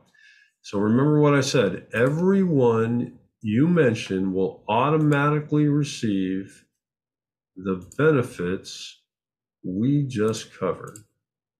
So now you can see I just jumped that up to 10,000. Again, this is another psychological thing because everyone receives a $2,000 accidental death and dismemberment certificate. So when you click activate for each one of these, the client is seeing the number of total gifted climb by 2,000. People like to give away money that isn't theirs. they may not want to give away their money, but they love it when somebody wins the lottery or they win something because in their mind it's not their money. So if they can give something away and that number increases, they feel good about it. So now that you've done that, you're at this point in the script, you've now done this. And now you say, aside from the veterans you provided, the VSOs have authorized you to extend your benefits to those closest to you if they didn't serve. Now they recommend they need to be at least 21 years old and if they're either employed or retired in good standing with the law. So understand what we're asking for. And then we say, lastly, because we don't solicit veterans and families, the VSOs require your permission for me to contact them and let them know that you're doing that. Now, when you're saying that, you're not asking them to give you permission. You've already activated them. Everyone following with me? What I don't want you to do is make the client think that they have to say yes to all of these because that defeats the purpose. They've already said yes because they've given you the information either in the survey, the family information guide, three important facts of the will kit. So it's all there. Okay. So then the next thing is okay, is there anyone you mention you wish to disinherit? That's the key. You're going to give them a chance to say no, but the way you're going to do it is use the word disinherit. Why are we doing that? Because most people do not want to disinherit anybody. It's again, it's a psychological move. Yes, uh, Wayne, what can I do for you? I'm sorry. Could you just go over that part again? Um, st- starting at the on the other form where we were listing the veterans that might be activated. If you because because I'm I'm trying to connect the dots and I and I'm missing something. Yeah. Well, could- could I can't go back. You mean this screen right here? yeah. Okay, so when this screen first comes up, none of these people are activated. Okay, that Right. means that total gifted says zero. So as you once you bring this screen up in the script, you are saying these words right here. everyone you mentioned will automatically receive access to the veteran legacy benefits we just covered, and they will also have access to the permanent, permanent benefits that we'll discuss in just a minute. As you're saying that paragraph, I want you to click on activate for each one of these people. Because the client is watching your screen and they're seeing that the total gifted number goes up. The reason that we have you do that is because people like to give away money that isn't theirs. Does that make sense, Wayne? Yeah. Yeah. Okay, so now that you've got that up, what we're saying is that we're going to give a two thousand dollar accidental death and dismemberment certificate to each one of these people that you listed. And then we let them know that aside from the veterans you provided, they've they VSOs have authorized you to extend your benefits to those closest to you, even if they didn't serve. So now we're saying you are able to give away access to this benefits to anybody you so choose, even if they aren't a service member. Now, what we recommend is that they're at least 21 years old, they're either employed or retired, in good standing with the law. Why is that? Because people who are under the age of 21 uh, do not buy insurance. Very rarely. I mean, less than one, less than tenth of a percent. So why waste our time? If they're employed or retired, that means they have money to buy the permanent benefits. And if they're not in good standing with the law, then they're not going to be covered by us, right? If they have a felony arrest, we can't provide coverage to them. So that's why we say this. Then we say, lastly, we don't solicit them, so we require your permission. And the way we're going to ask you if to have your permission is there anyone you mentioned you wish to disinherit? So when you say it that way, people will like, well, I don't want to disinherit anybody. Now they're not thinking of, well, I don't want you to reach out and contact somebody. What they're thinking is, well, who wouldn't I give this to? Do you see how the, the thought process shifts? Because if you don't say, do you, who do you wish to disinherit? Then their mind, they're thinking, well, I don't want you to bother these people. So that sometimes they'll say, I don't want you to contact anybody or don't contact uh, Sean Jones or whatever, right? They could do that. But if you flip the coin and say, well, which one of these people do you wish to disinherit from receiving these benefits? They look at it differently and they'll typically let you contact everybody. Does that make sense, Wayne? Wayne, are you there? Yeah, I'm here. Yeah, um, I, I understand more now. I understand Okay. more now. Thank you. Perfect. Yep. Brooke Pickett, what can I do for you? So even if they didn't serve, if they didn't serve, the accidental death benefit, does it, is it only for a year? Yes, the accidental death benefit lasts for one year, but you can renew it. You can call us back up and get it again. So it can go in per, in perpetuity. Okay, So understand what's happening here. An insurance company like us will cover anybody who qualifies, but our marketing approach is for unions, uh, trade associations, credit unions, VSOs. Not because we want to exclude anybody, but because when we focus on a particular market, we sell a certain way. But just like any of you, if you have friends, you could sell to them. They don't have to be a part of anything. As long as they qualify, you could sell to them as long as you're licensed in the state of which they're physically in. Does that make sense? Brooke? yeah, so if, if I did sell this to a friend, um, would they get the accidental death benefit or the, yeah, the two thousand dollar accidental death benefit for Yeah. a year? Yeah, you could give that to them now. As a matter of fact, all of you should get it. You're all Yeah. eligible. Anybody can get it. So think of it this way a $2,000 accidental. How many people are in this class? Hold on, let me walk you through this logic here. There's 27 of you in this class. So if, and you can all get to the $2,000 accidental death and dismemberment certificate, right? So that would be $2,000 times 27 is equal to $54,000. So if you all died doing an accident tomorrow, the company would have to pay out $54,000, right? Let's hope that doesn't happen, but let's say it potentially could. But here's the reality most people don't even realize that the number of people who die due to an accident is less than 1%. And as you get older, the percentage of dying by an accident goes even lower because you're now drinking uh, liquids, eating food, breathing air that has contaminants, you're exposed to viruses and diseases, and your own DNA begins to break down. So the older you get, the more likely you're going to die from natural causes. So if we take the fifty-four thousand, at best, and we're gonna multiply that times 0.01.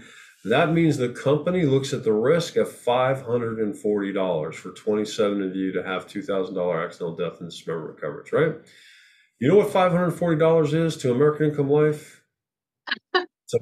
Well, I want, but seriously, it's a marketing expense. Point of a percentage of interest. Right. It's a, but it's a marketing expense. American Income Life looks at that two thousand dollars and says to itself, "Well, every single time I give it out, the likelihood that I'll ever pay it out is less than one percent. So every single time, it's twenty bucks." Do you think American Income Life will spend twenty dollars for every lead? Absolutely. So that's exactly what's happening.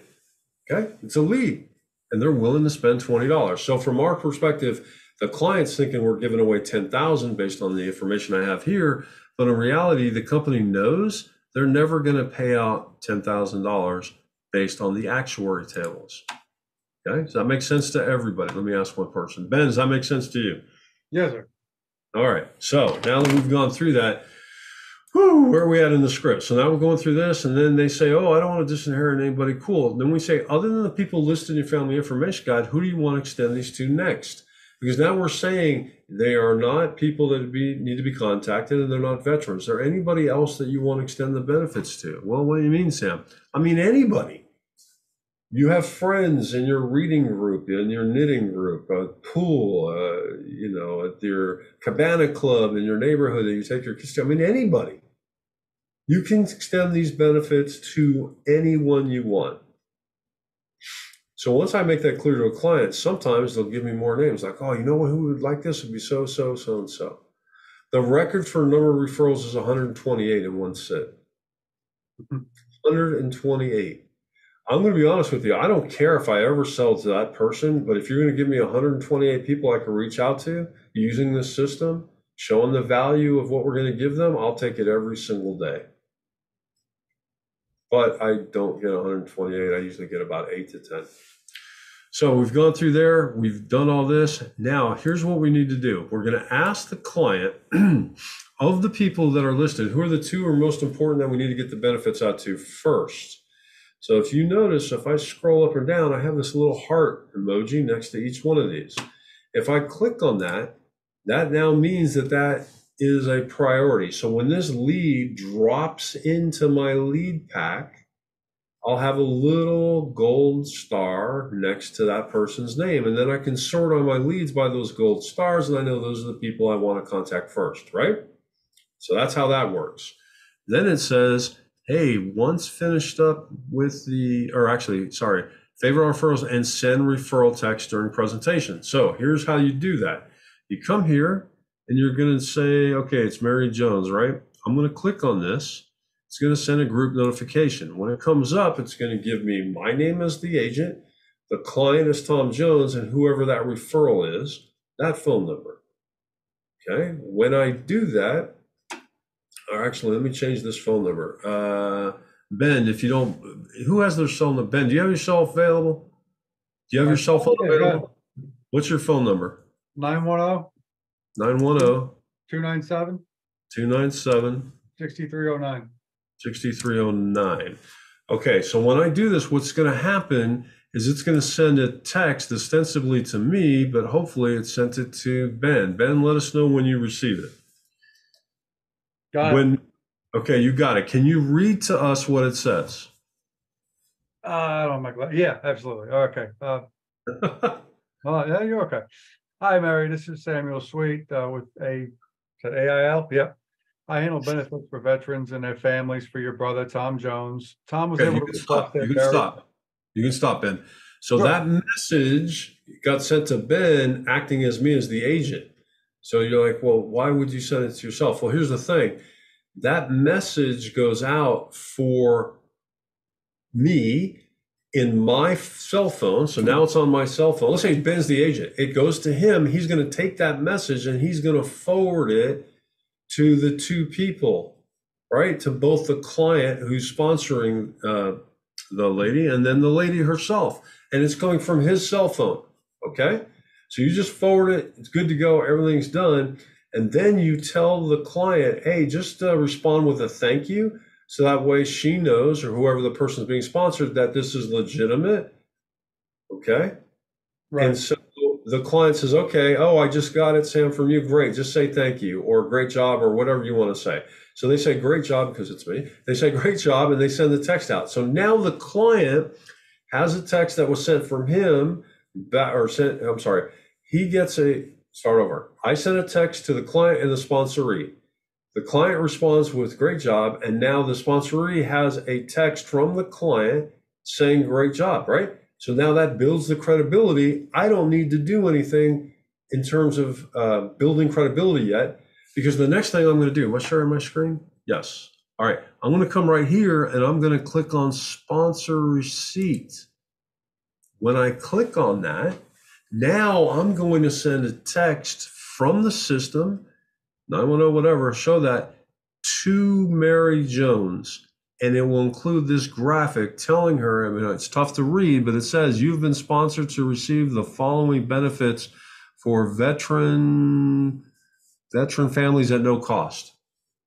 And when I send that, it then gives me a check mark. It tells me the message is queued successfully, and now I have these two things right here. So what I've just done is I've leveraged the power of credibility from the client, not from me, that responded to the text she sees this and then I follow up with the receipt and oh my gosh, now I've got a nice picture sitting there. Isn't that cool? Yeah. The system is really great and it helps you build credibility with your referrals immediately. And then you can just send a text to her and say, Hey, I just want to follow up with you and let you know I'm going to give you a call later today or give you a call tomorrow, what time could be good for you, whatever it is you want to say. Okay? Whew. All right, so we finish all that. And then the script says, Hey, once finished with the sponsor program, click, click, click, click the floppy disk icon in the right hand corner to ensure all the referrals are saved. So once you're done with all of this, what it will do is it will say, okay, click the floppy disk, and then it should save all of it to your uh, lead inbox. And why is it not doing that? Oh, right here. It, when it when it doesn't do anything, it's telling you it's missing a piece of information. Right here, it's missing this. So it's a lead type. So when you add somebody new in, you have to tell it what type of lead. So if I hold over this, it says sponsored veteran lead or sponsored veteran referral. That means this lead type is an actual veteran. Whereas if I go on here, it says veteran family referral. That's family, friends, or emergency contacts. The reason that's important is we report back to the VSOs how many actual veterans we meet with. So obviously the number is going to include the veteran lead itself, but if that person gives us any referrals who are veterans, the VSOs want to know that because they want to track how many veterans are actually being communicated with all this information. Virginia Robertson, what can I do for you?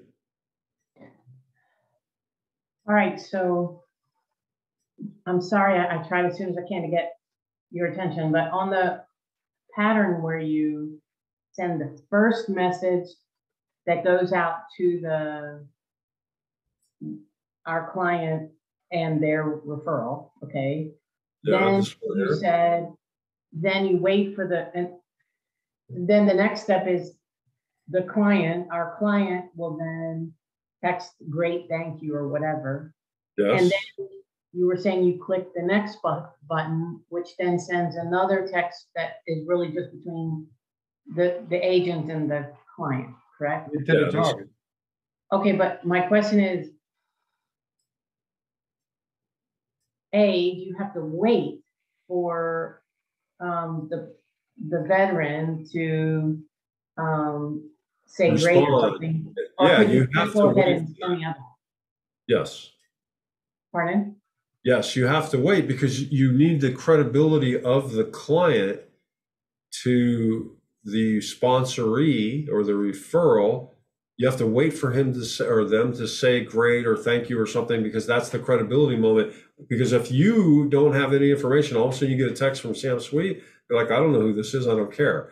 But if you get the text from Ben, you're like, I know Ben, and Ben just did something. Okay, cool. And then you see another text that comes in with the sponsored benefits, you're more likely to respond to my phone call when I call you. Well, So you're on the phone with him.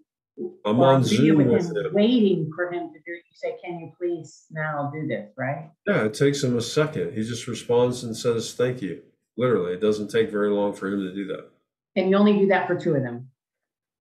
Well, I, I if I can do it for every single referral he gave me, I'm going to do it. But I definitely want to do it for the ones that he said who I should contact first.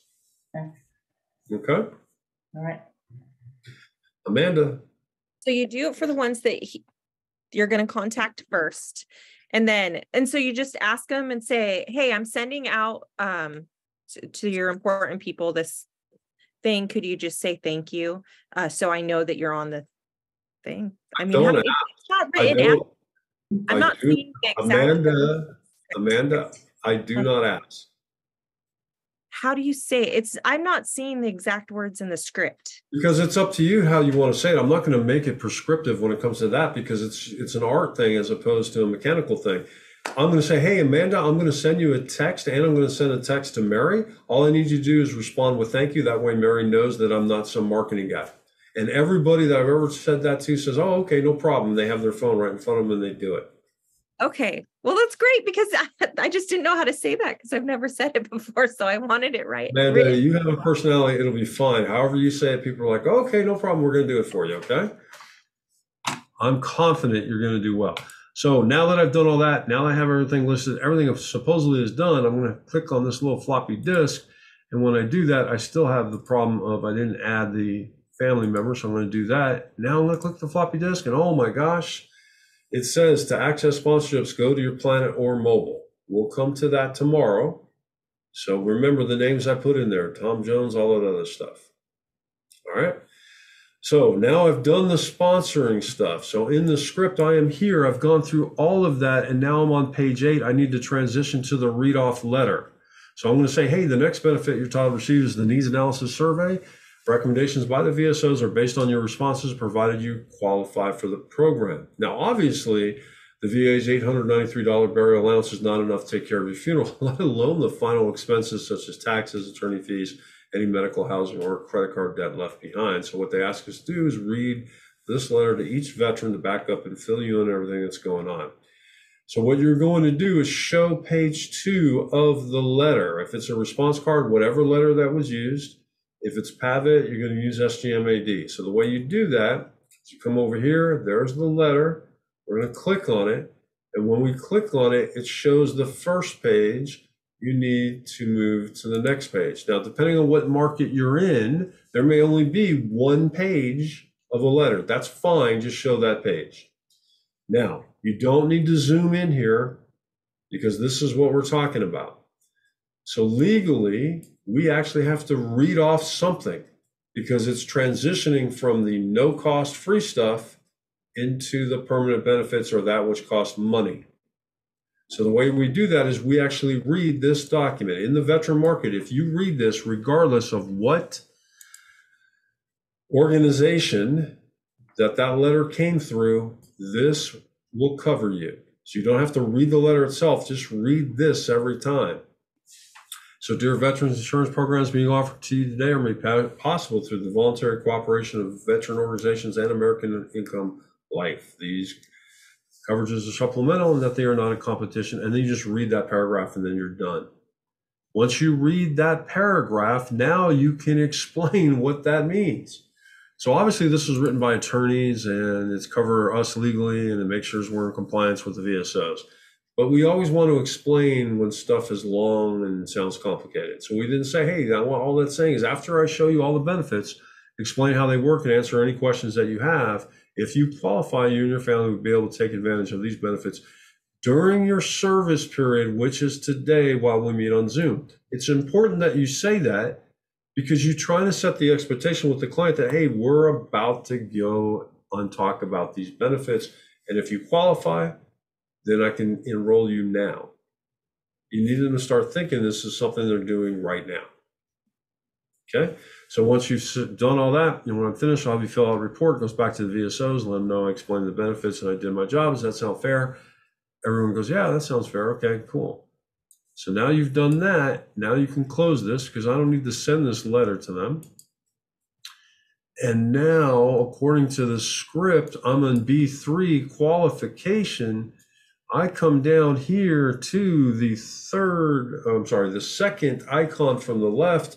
I click on the needs analysis, and lo and behold, you all know this screen, right? We've already gone through this screen. The difference is, is that everything is filled in this time because I got all the information from the survey and it flowed all the way through.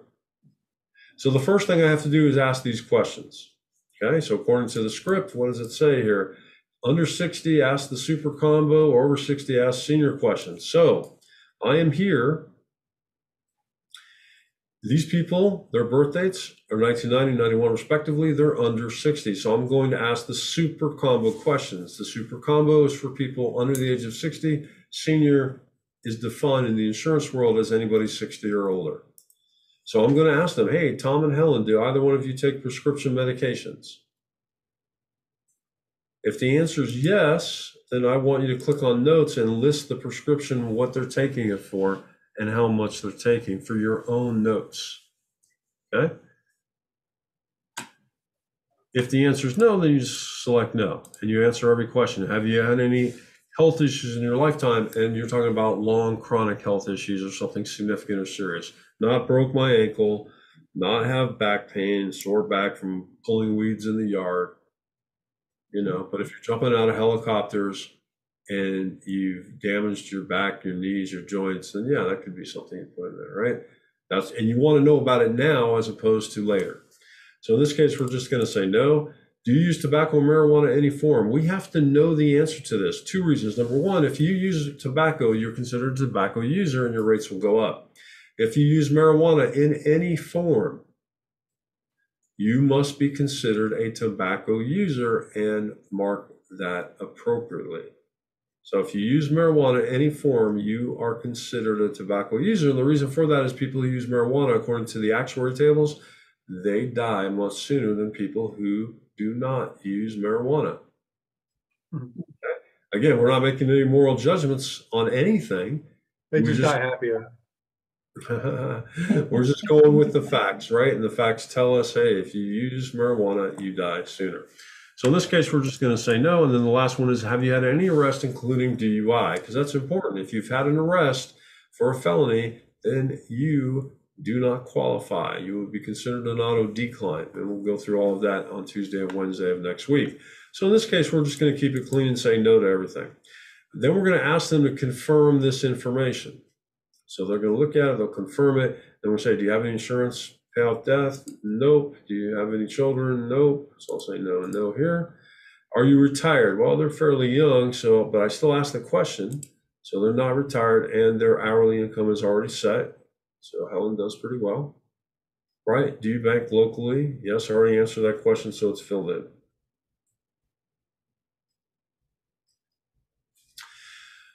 And then I'm looking over here for the dollar a day approach, right? So I could pick our power philosophy, I could pick monthly, or I can pick dollar a day. We start with dollar a day. So the dollar a day is where the VSOs are recommending the middle at five, and then we give enhanced. Okay, so we already went through that. We know that. But there are other approaches. I could do monthly, and what the system will tell us is how much uh, money that would be set aside for the monthly, but we don't do that here. I'll show you where we do that, but not here. We could do our power philosophy, and what that's doing is it's setting aside one to two hours of their pay every week to pay for the permanent benefits. So that only works, that typically works with people who are working. But most of the people in the veteran market are older, they're usually retired.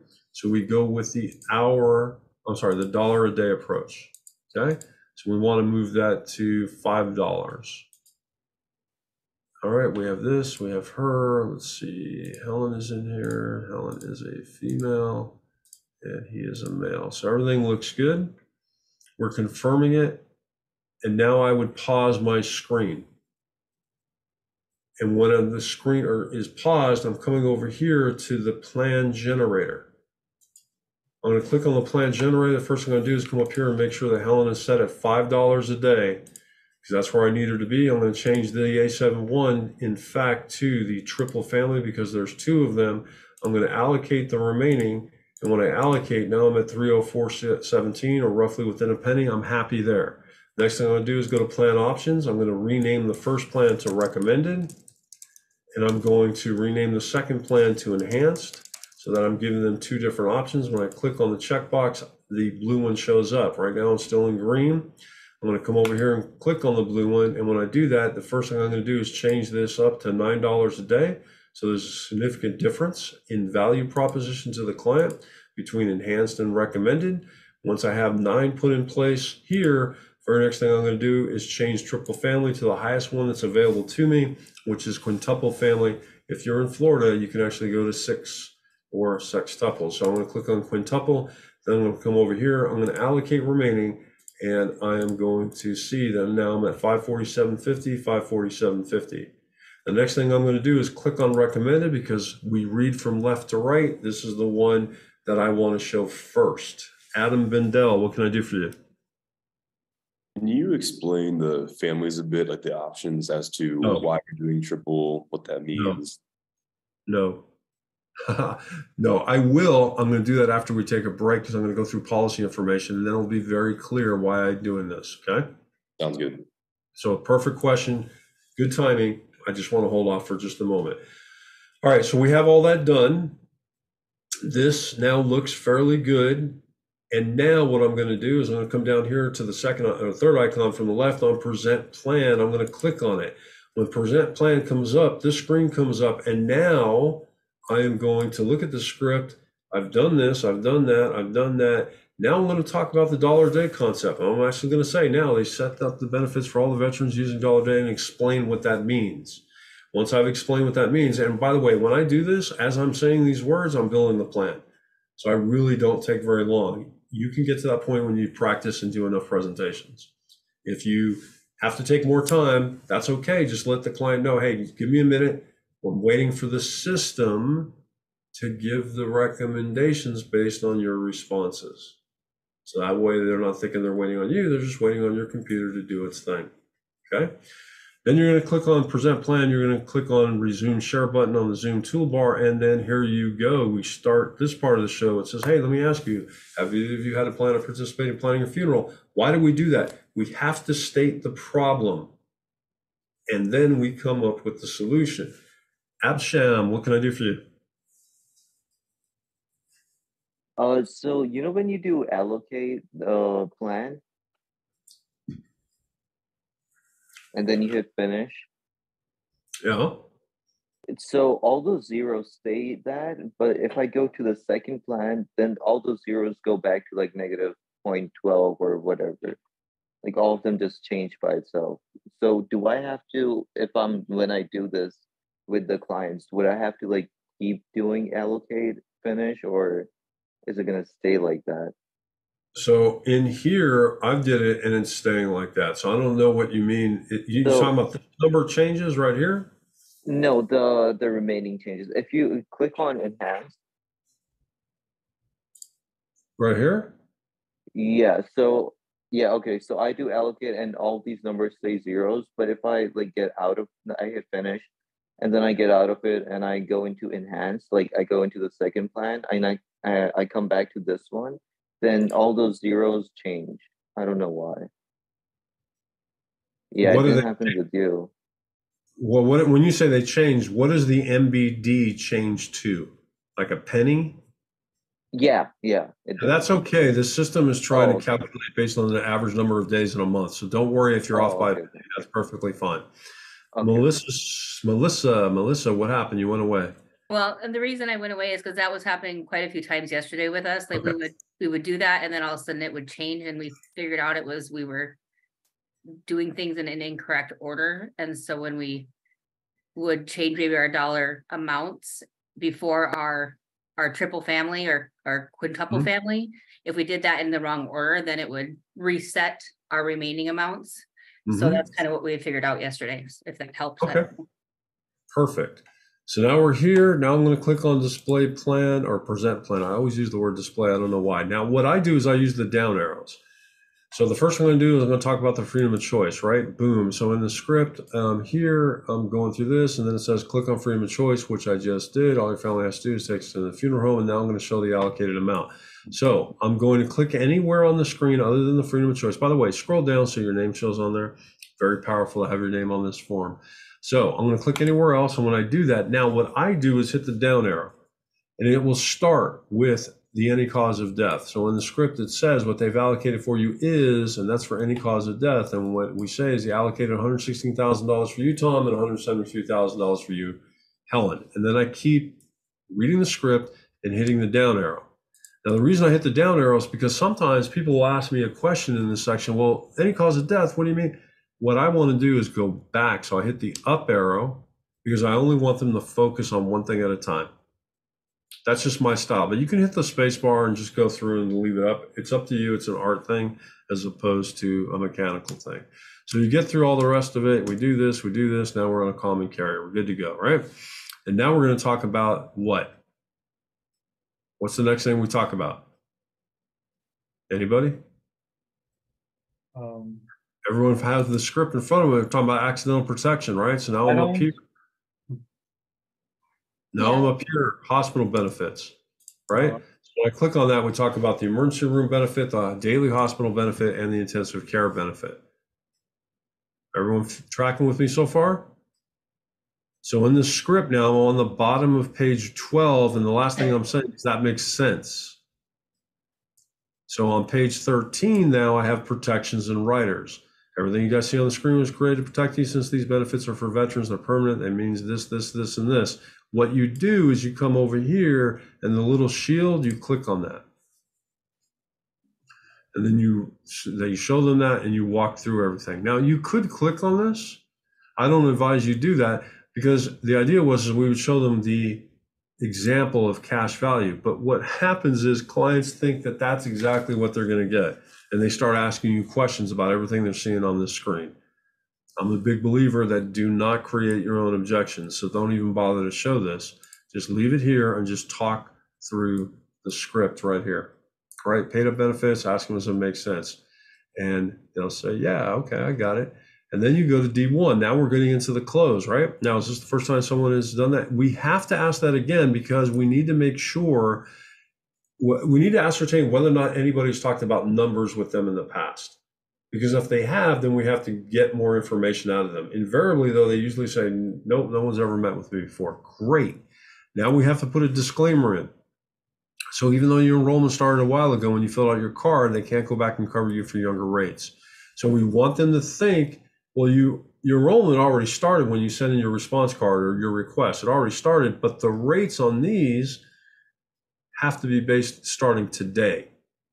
So again, this is a psychological thi- thing, making them think that uh, they're enrolled, right? The more you get them to say yes, the more likely they'll say yes at the end. So now, when you're qualified enrolled, it'll come out once a month from your account of your choice. We need to let them know that it's a monthly bill. Okay? And then we say, hey, let's face it, we're all going to pass away. That's something that we don't have any choice or control over. So typically comes down to veterans like yourself taking care of something like this now, or that burden will likely be placed on your family in the future. I like to talk about here liability versus legacy. You want to leave a legacy behind for your family, or do you want to leave them a liability?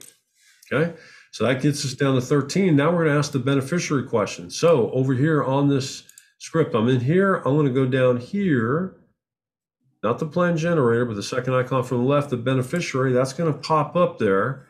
And I'm going to say now there's some other medical questions to see if you qualify, but probably the most important question they have me ask you is if something happens to both of you, like a bad car accident, there will be $410,000 that comes to the family for funeral and final expenses. Who do you want that money to go to? Again, everything I've talked about today, it's all about psychological, the way the script is set up. So I want you to think about this for a minute. If I told you that you're going to get all this stuff and you walk away and I ask you six months later, what is the number on this page, Amanda, you are going to remember?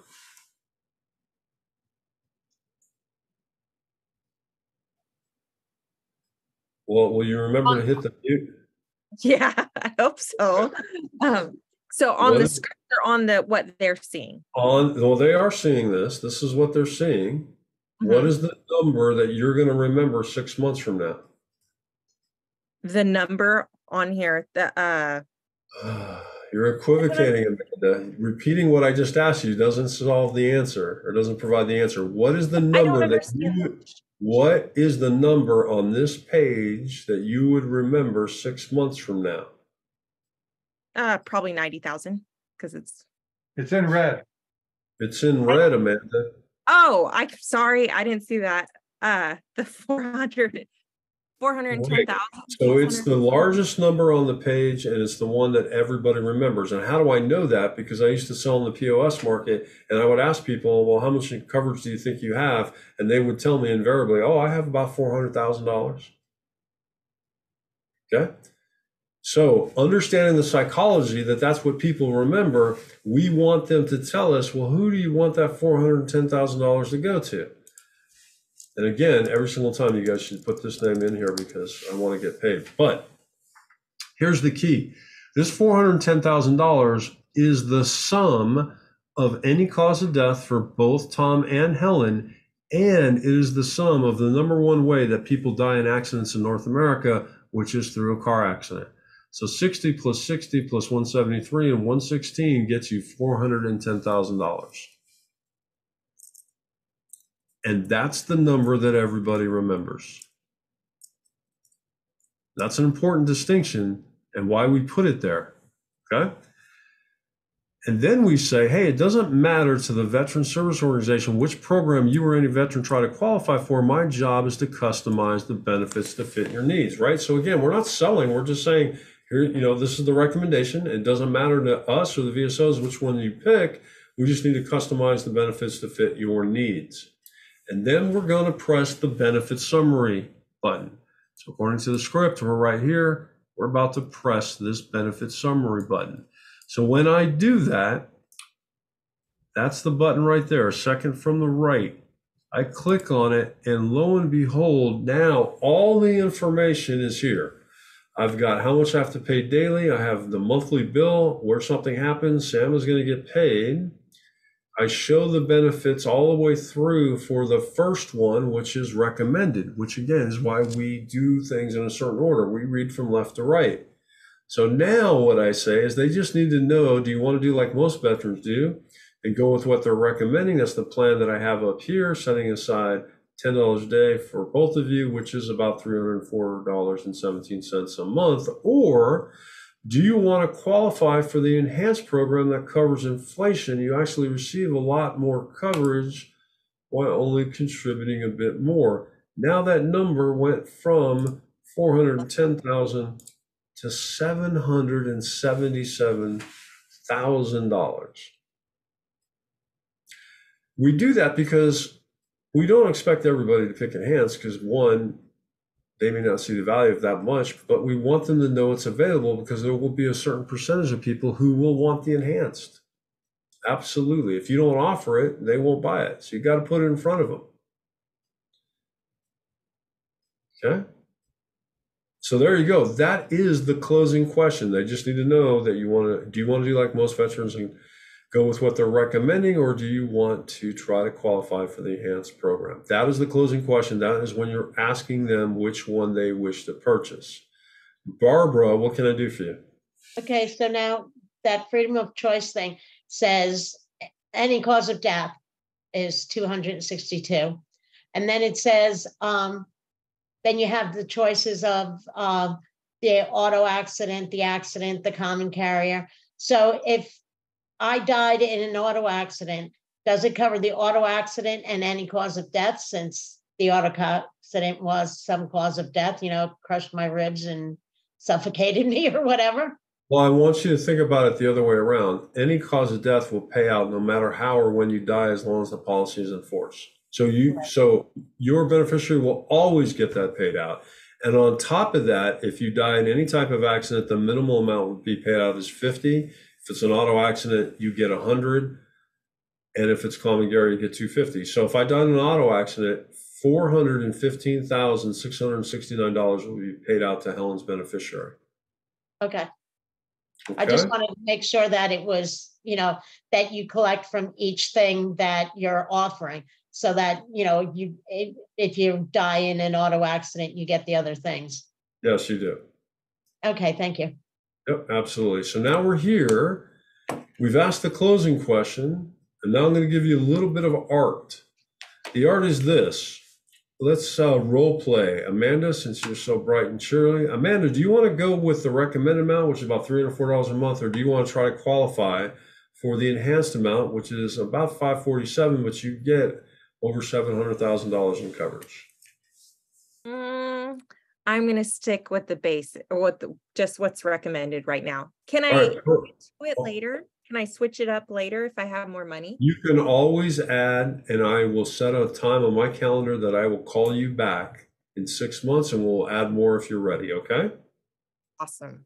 So she's gonna buy recommended. You are done with EAP for right now. You're gonna, I'm sorry, with uh, HP Pro, you are gonna move into EAP and close this thing down, okay? You are done. But let's say, Amanda, that you really can't afford 30417, okay? So let's role play that one. So I'm going to say, hey, uh, Amanda, do you want to go with the recommended amount, which is about $304 a month, or do you want to try to qualify for the enhanced amount, which is about 547? Mm, well, both of these are kind of out of our budget at this time. Okay, do you see value in, in, in the program the VSO is recommending? Oh yeah, I want my family taken care of, Perfect. but Okay, and I think the VSOs, the VSOs do as well, and that's exactly why I'm here. So what makes sense for you and your family?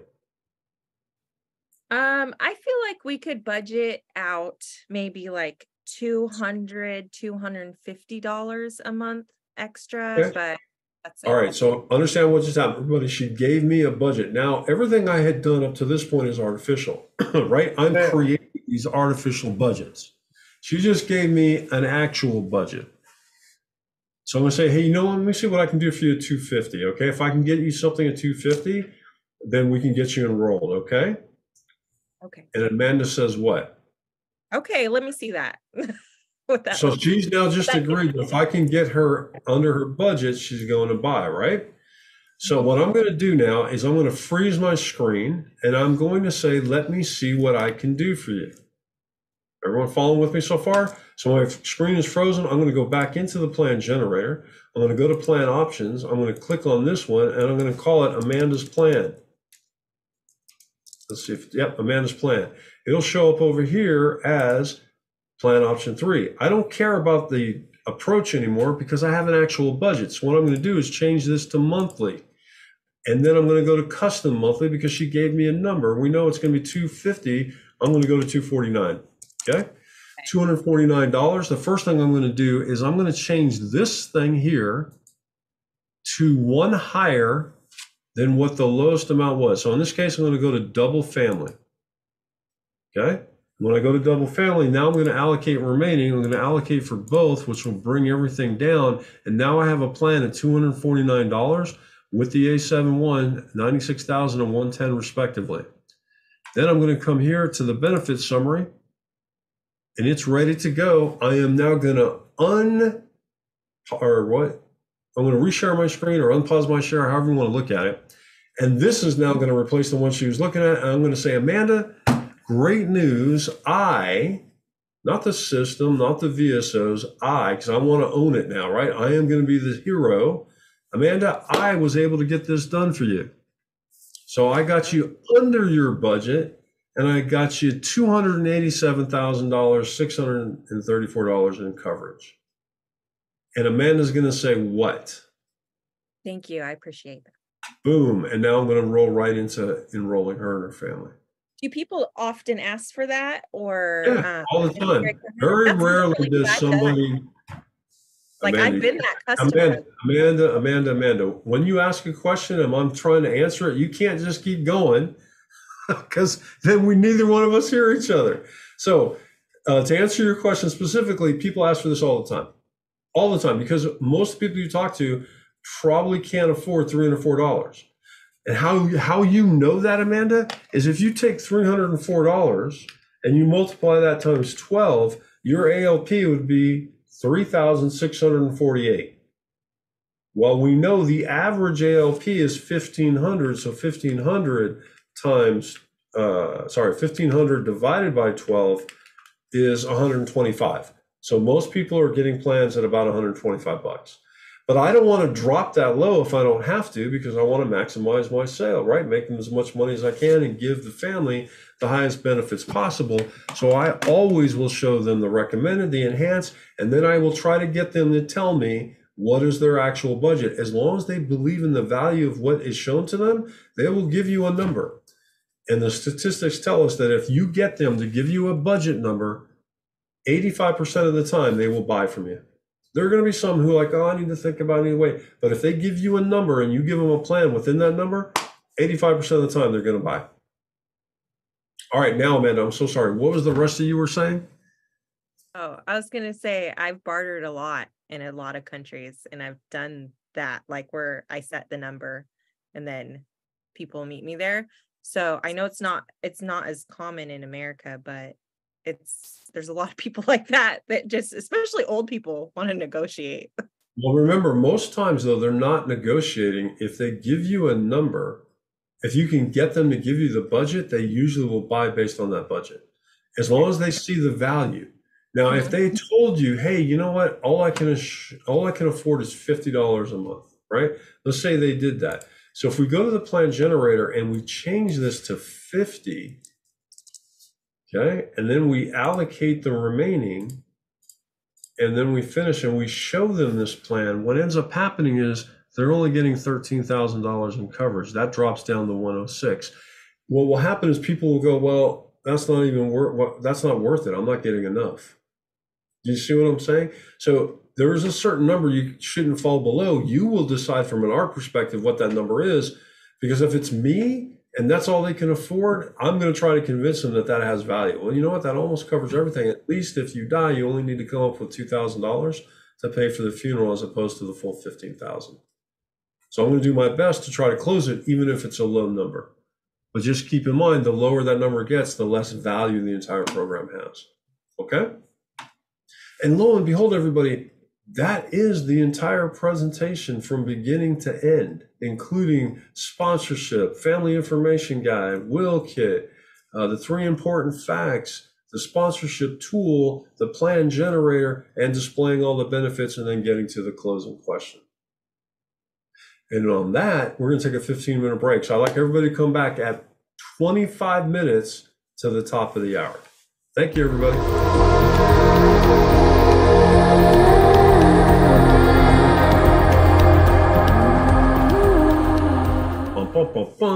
All right, everybody, we are back.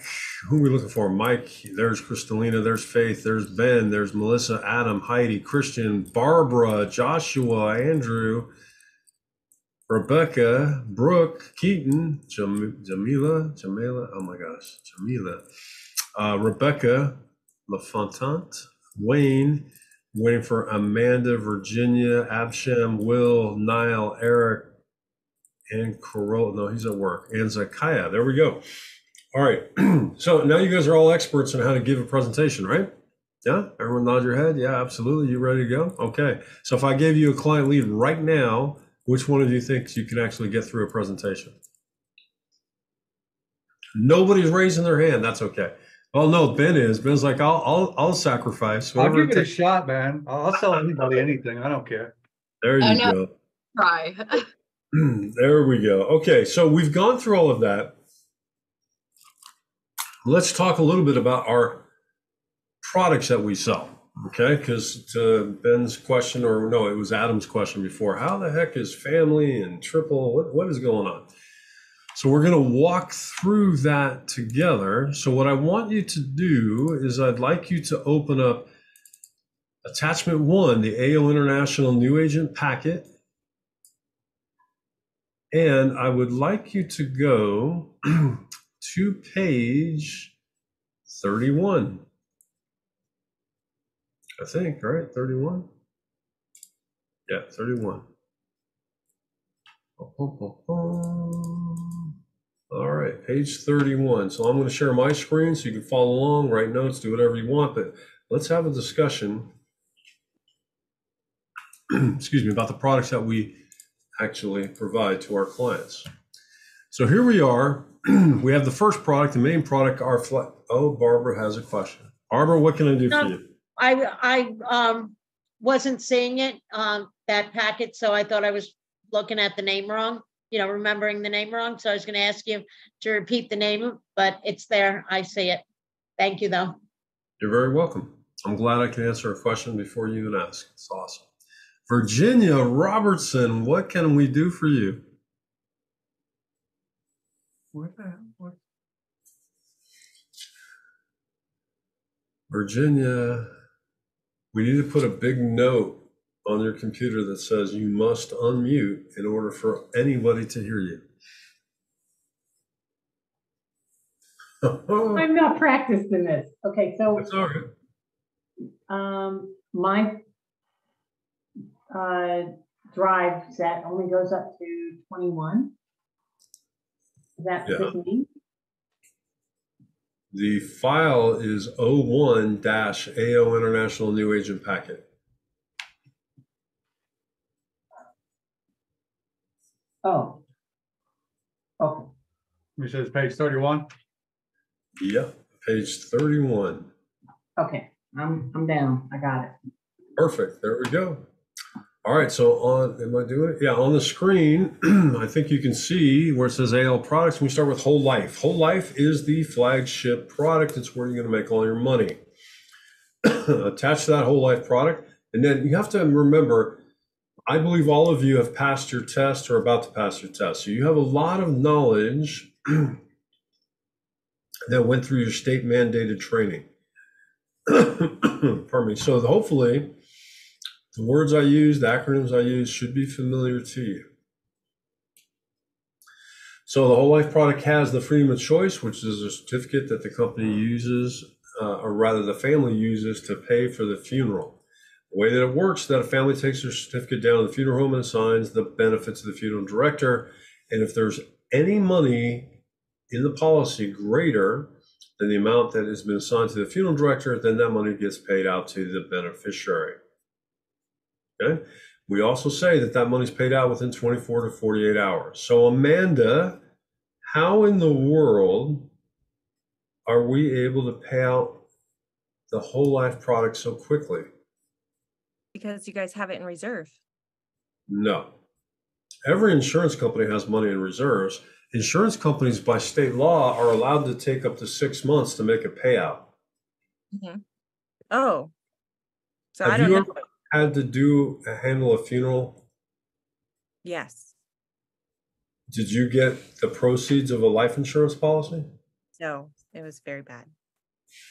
Okay, has anybody handled a funeral where they had to deal with the insurance company? If you have, well, raise your hand. All right, so Virginia, you're saying no, but your hand is up, so I'm confused. Which one is it? No, yes, maybe so. Okay, there she goes. Barbara Wambacher and Wayne Butler. Okay, so both of you have handled funerals. So in your case, Barbara, how long did it take for the insurance company to pay out the money to you? Um, my, my husband passed away and he had quite a, a lot of insurance. But there was this one company and it was only for a small amount, so I kept forgetting to, it was like a ten thousand dollar policy or something.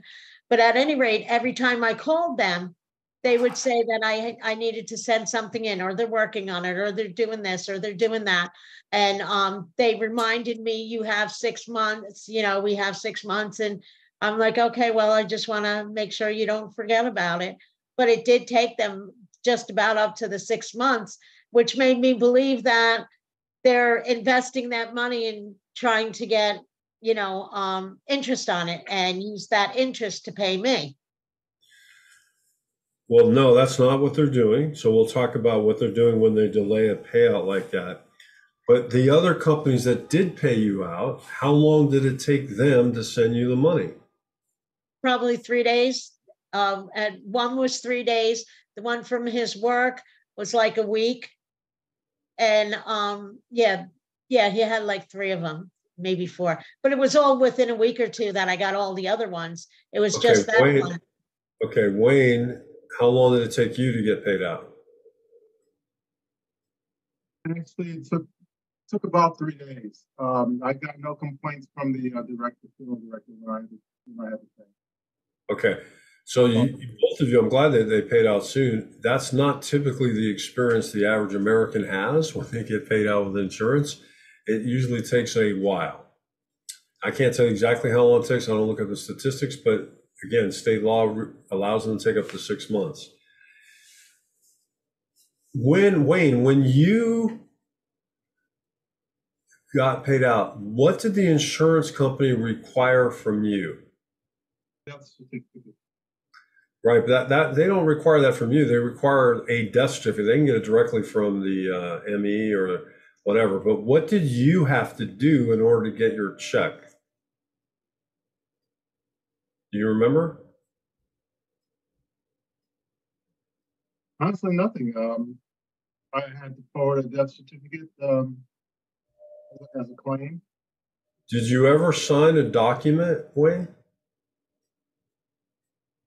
No. You probably don't remember, but you did. You had to sign a document. In order to get the check, you had to sign something from the insurance company. Uh, Barbara, what's Yes. that? I, I said it doesn't come to mind. Okay, Barbara, did you have to sign anything? Um, no, I don't think so. I don't remember. My husband passed away almost twenty years ago. Okay, fair Um, enough. It's been a while, but I guarantee I can tell you that I, uh, the last job that I had, it was working with the, um, people enrolling into the work benefits and stuff like that. And a woman had called me and she was trying to get her ben- her daughter's benefits to pay for the funeral thing. And it turned out she did not get those benefits because she didn't have the policy long enough. You know, like you have to have a policy for a certain amount of time mm-hmm. before they'll pay out. And she was fighting with the insurance company for, and it turned out that the daughter just didn't have the policy long enough before she passed away. okay, so let's assume that we've met the threshold, whatever happens to be. In order for insurance company, well, first of all, everyone needs to understand that insurance companies are in the business of what? Risk management. That's all they're in. That's the business we're in. That's why we use statistics, we use actuary tables, because what we're trying to do is we're trying to evaluate risk and then assign a monetary value to that risk. So if I buy an insurance policy for myself today, if I were married and I died three years from now, my wife is going to have to sign a document. And that document is an indemnification because the insurance company knows what their risk is for the policy that I originally bought. Let's say the policy was for $50,000. So the insurance company knows I have, or they know they have $50,000 of exposure that when I die, they need to pay it out. Now, what they're doing is they're assuming that they're going to get enough premiums to offset the loss. So it's a constant game of seeing how many people are paying premiums, how much are your losses, et cetera, et cetera. When insurance companies get in trouble, it's when the claims get too high as opposed to the premiums coming in. That's why you see a lot of property and casualty companies end up going out of business or going bankrupt with natural disasters because they have to pay out too much money all at once and they don't have enough premiums to offset the loss. Life insurance companies typically don't have that problem because people tend to live long enough to pay the premium so that way the insurance company is not at risk. But it's just like how explain it's like a bookie. I mean, not it's legit and everything, but a bookie's looking at odds and they're moving the odds depending on how somebody how the total population is bet so that they're never upside down. They never have to pay out more than they took in. So the insurance company is doing the same thing, but the insurance company is managing or mitigating the risk of ensuring that they don't have to pay out more than what the face value of a policy is. So I die three years from now. My fictitious wife is going to apply for the or submit the death claim.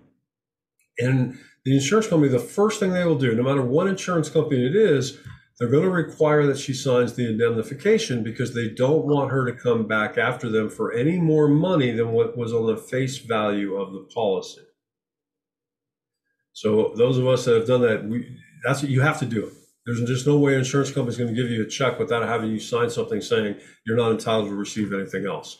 Because what ends up happening is if you take the money, you didn't sign anything, you go to a smart attorney, they're going to sue the insurance company for more money. And now the insurance company doesn't have anything that says they shouldn't pay you. Now it's going to go into the legalities of how the policy was set up and all that other stuff, right? Insurance companies don't want to do that. What they want to do is say, I'll pay your widow, Sam, the 50,000, but I'm not paying her any more than that. Okay. So in order for her to get the money, she has to sign an indemnification. So that happens 100% of the time. Okay. So assuming that happens, how in the world can we claim that we're going to pay out within 24 to 48 hours to a funeral home? Well, the reason we're able to do it is because we're not actually paying the money out to the beneficiary. What, in fact, we're doing is we're taking the freedom of choice, where on the back of that form, in my example, my widow is assigning $10,000 of the insurance policy to the funeral home to pay for my funeral. Let's just say that was the case. The insurance company is not engendering any additional risk by paying out that money to the funeral home because my widow has said and signed that the proceeds of this insurance policy, I want $10,000 to go to the funeral home. So she can't ever claim to get that $10,000 back from the insurance company. So there's no risk there. The insurance company sends a check or wires the money to any funeral home in North America. They're not worried about any additional claim by the funeral home because it's a business transaction for services rendered. So the funeral home can never ask for more money, right? So the reason we can move so quickly with the freedom of choice is because there's no risk to us. We've mitigated that risk completely. And in return, we go around and we say, okay, we can get this paid out in 24 to 48 hours. The reason we do all of this is back in the day, as union, the only union insurance company, we would have union leaders come to us and say, you know, we have a problem.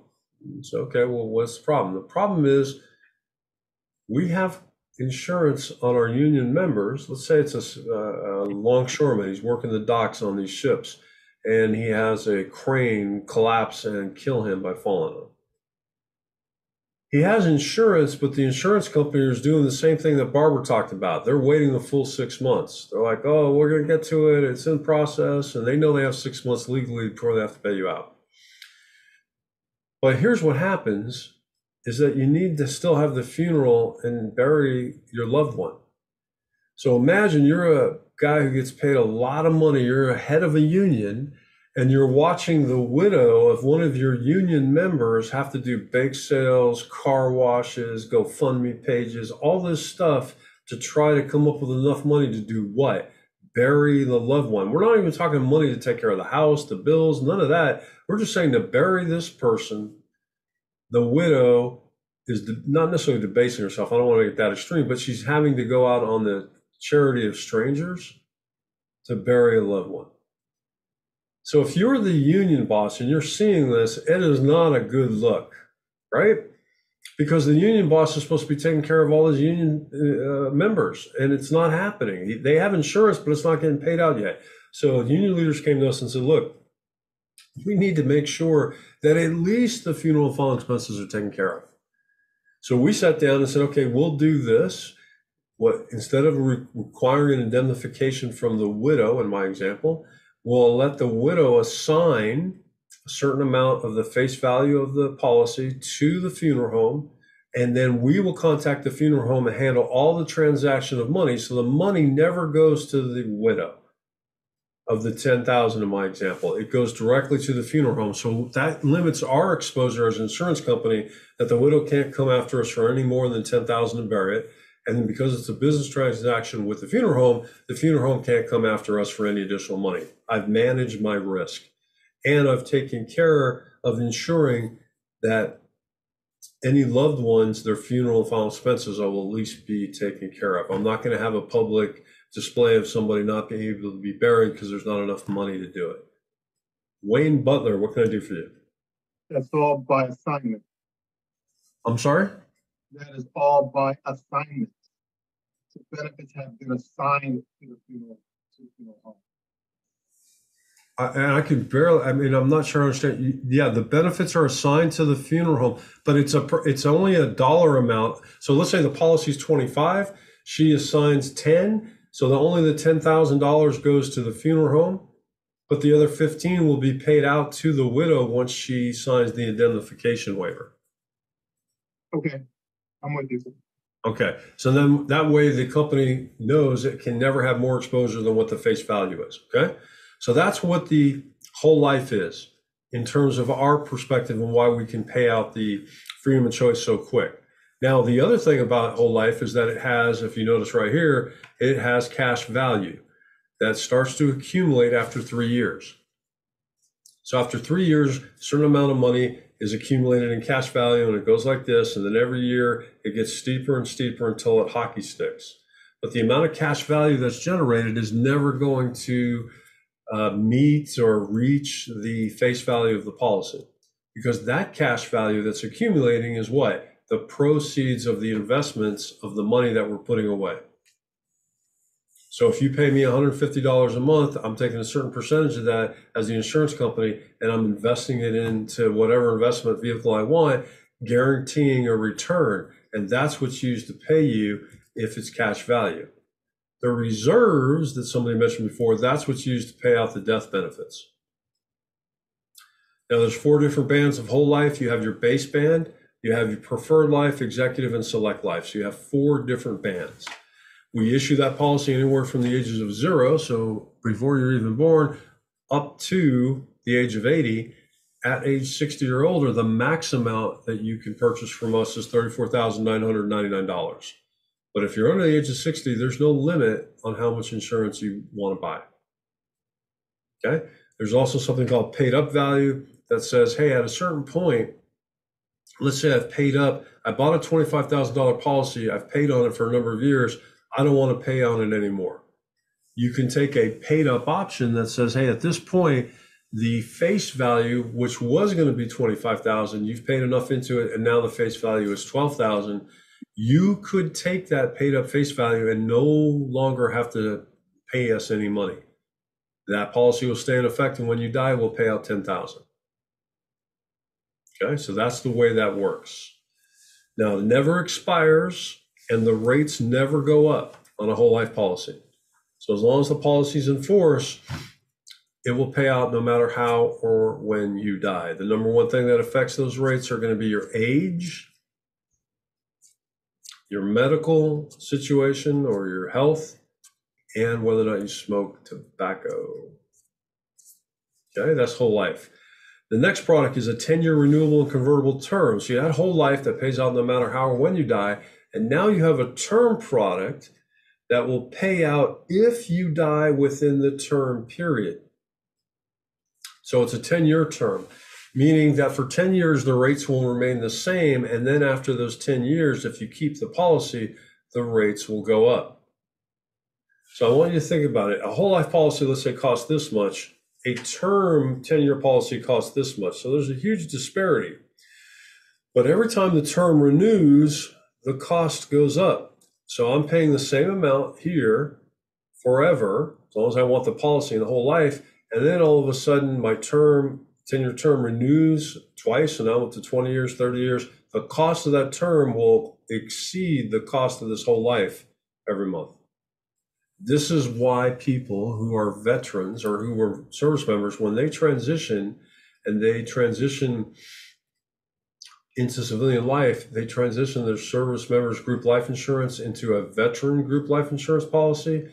Usually, what will happen is they'll kill the policy because the cost of that policy gets worse and worse. It goes higher and higher every three years. And at some point, they just can't afford it anymore. So they kill it. Now they have nothing. That's why a lot of veterans don't have any insurance at all because they were relying on well, one, they're relying on the veterans group life insurance policy, and two, they don't realize that the military or the uh, Department of Defense or the government won't pay anything out at all unless they have a VGLI. But most of them stop their VGLI because it gets to be too expensive. So the other thing with the 10-year renewable and convertible is in its name. So it's renewable, which means every 10 years you can renew it, and it's convertible, meaning at any point up until the age of 63, you can convert that policy into a whole life policy. Now, I did that all the time when I was in production. I would look at their portfolio, I'd see they have a 10 year RNC. I would talk them through why they should convert that policy.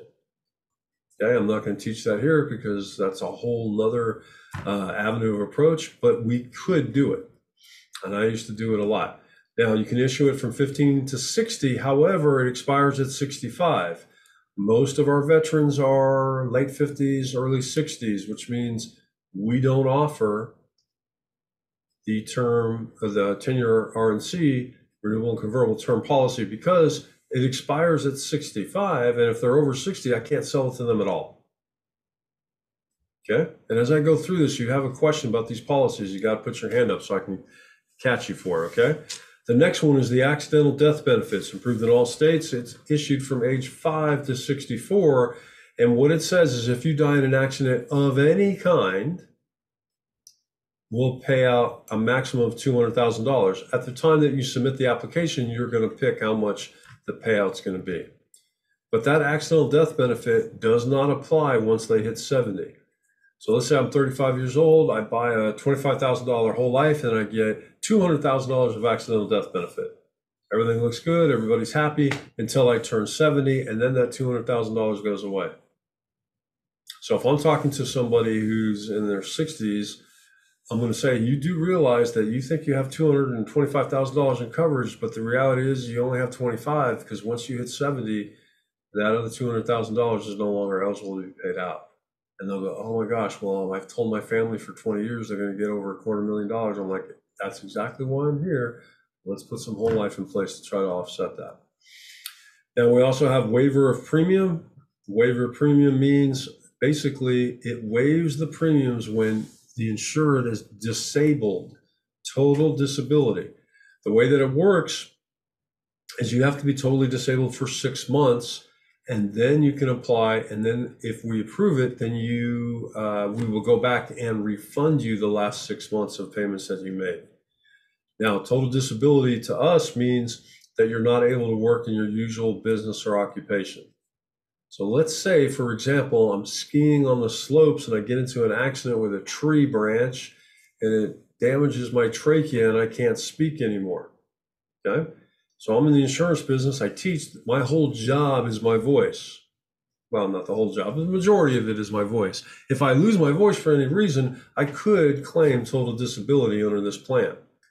But if I wanted to go out and get another job, maybe where I wash cars or sweep streets or I don't know, something doesn't require my voice, I'm still eligible for the waiver of premium because it says where you're not able to work at your usual business or occupation. Next thing is the senior graded, whoop, senior graded whole life.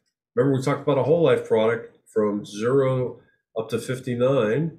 At age 60 and above, you get a senior graded whole life. Okay, what the heck is that? So think of it this way.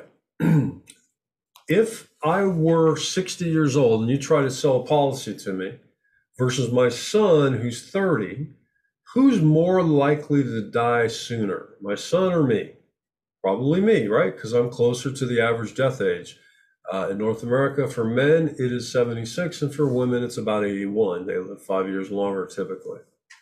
So I'm 16 years away from dying, according to the statistics, and my son is 35 years away from dying. So the company is going to have more risk by selling a policy to me than my son on average. Make sense, everybody? So that being the case, if they didn't have a way to reduce their risk in the senior market, they just wouldn't sell to seniors. They can make the argument no one's going to hold them accountable, right? But they do want to sell to seniors because seniors have money, but they've got to figure out a way to mitigate their risk. And that's where you come up with a graded policy. So the first thing is with a senior, the cap is 34,999. So now I know no matter who I'm selling to, if they're 16 and older, I know what my total exposure potentially could be. It's no more than 35,000 per person. Then on top of that, they know that a certain number of applicants actually will die in year one, year two, and year three after the application has been submitted. So rather than pay out the full 34,999, what they do is they say, okay, we need to mitigate our risk. So if you die as a senior in year one, the most we'll pay out is 25%, year two 50, year three 75%. Because the actuary tables tell us that if you as a senior live at least three years after a policy is issued, you're probably going to live for at least 10 more years. Somebody who lives 10 years will get the majority of the premium in for the cap at 34,999. Okay, so that's how we mitigate risk and allow ourselves to sell into the senior market. Otherwise, we wouldn't sell at all. So if we look at the next page, it shows us the example I just talked about. Year 125, year 250, year three, 75%. Brooke, what can we do for you? Um, I'm just wondering, I'm sure you'll show us this, how to set up a graded whole life policy. I'm never going to show you that. I never want you to sell any. Yes, I'm going to show you that Tuesday of next week. Okay, Okay. thanks. the next policy we have is called the B2000. It's a special uh, accidental death benefit is issued from ages 5 to 72, and it has a static payout. For accident, auto, and common carrier, it's 10, 25, and $50,000 respectively. Okay. After that, you have Children's Rider and Head Start. Okay. I do not like the Children's Rider. I only do it in one circumstance. So what I'm going to do is talk about Head Start. So basically, if you talk to anybody and they're about to have a child or they have a child, we can issue a policy to them, very, very inexpensive, and we can include something called the guaranteed insurability option. What that means is every, once the child turns 25 years old, on that birthday and every three years after that, they're eligible to purchase an additional $25,000 without being required to submit any medical information.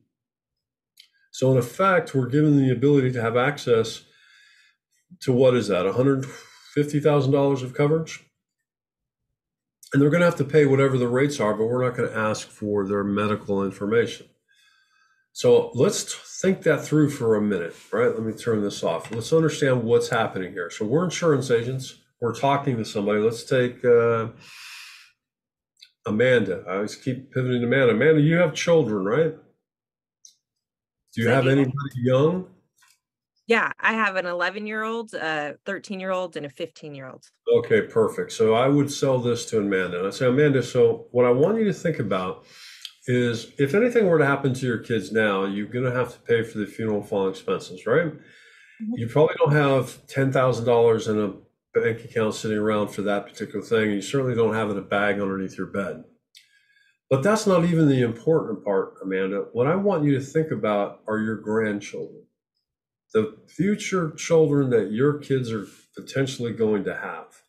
And she's going to go like, oh, what do you mean? She's going to sit like this, right? She's like, oh, I'm interested. What are you talking about? I say, Amanda, imagine a situation where you can guarantee that your grandchildren will be protected in the future if anything were to happen to your children. Well, what do you mean? I said, well, what we would do is we'd set up a head start for your kids. And we would give them a guaranteed insurability option that says that your children, when they take ownership of the policy at age 25, and every three years after that, they're eligible to purchase another $25,000 in coverage, regardless of their medical condition. And then she'll say, Well, okay, I mean, that sounds good, but why is that relevant? And then I would ask some questions. Do you have any history of heart disease in your family or any history of breast cancer or anything like that? And a lot of people will have that. And I'll say, think about this. If we set this policy up with your kids, your kids who may be exposed or may have a predisposition to having heart issues or maybe breast cancer, or the case may be, we will never use that as a reason to deny them coverage. So what that means is when your kids turn 25 and they start thinking about getting kids of their own, even if you had the cancer gene or the gene for heart attacks or whatever, they can still get insurance. Whereas if we didn't have this in place and they try to apply for insurance, they may get denied or declined. And the issue there is not for your kids it's because they're having your grandchildren, they're trying to protect themselves the same way you and I are talking. We can set them up for their future right now, today, 25 years in advance. And by the way, Amanda, it's like 15 bucks a month for each child, if that. So now Amanda's thinking to herself, well, you're saying I can protect my grandchildren. Yeah, because the policy would be owned by your kids. If they died, they probably named your grandchildren as beneficiaries. So every time I have this conversation with, particularly with women, and we talk about breast cancer gene and all that, they say to themselves, oh my gosh, there is a way to ensure that my children have coverage in the future, regardless of their medical condition. And I say, yes, there absolutely is. And invariably, I would say about 95% of the time, the women sign up immediately. Give me the head starts because it's so inexpensive and it really is looking into the future for those grandchildren. Mm-hmm. So, what do you think, Amanda? As I described it, does it seem like it's something that would be worthwhile for you? So is this considered a whole life thing where it builds Yes. value? No, So it, yeah, it's a whole life policy. It builds value. Absolutely. It just includes the guaranteed insurability option, which is the thing that would protect your grandchildren 25 years from now. Yeah, and super cheap. Oh, I would totally do that. So you told, and now you guys are starting to build it. And what you're doing, if you're young in this business, you're actually creating your future clients because you keep in contact with that family. And then what happens is the children uh, of Amanda have families and now they need to protect themselves and they get married, they have husbands and wives. You can actually continue to create your own lead pool through one family, starting with Amanda. So if you stay in this business long enough, you can see yourself actually doing that. Yeah.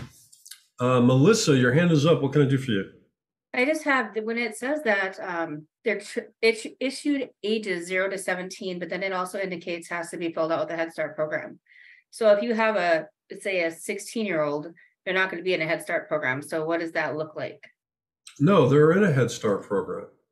The Head Start is a nomenclature. It's not an actual thing that you qualify for. And the reason that it's zero to 17 is once you turn 18, you have to own your own policy.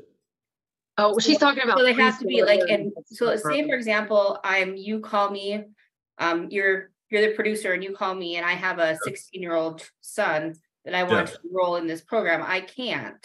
Is that correct? not? correct? 'Cause They're not in it, he's, he's a junior in high school and isn't. No, he a- can't enroll. It's zero to 17. Okay, so what does that mean when it says the child coverage questionnaire has to be filled out with a Head Start program? What Oh, is- I'm just asking, all like, what that, does that mean?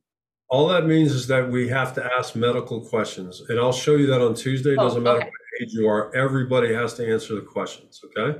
Okay, thank you. Brooke, what can I do for you? Um, she was talking about the Head Start program that our preschoolers are in. That's why she was confused.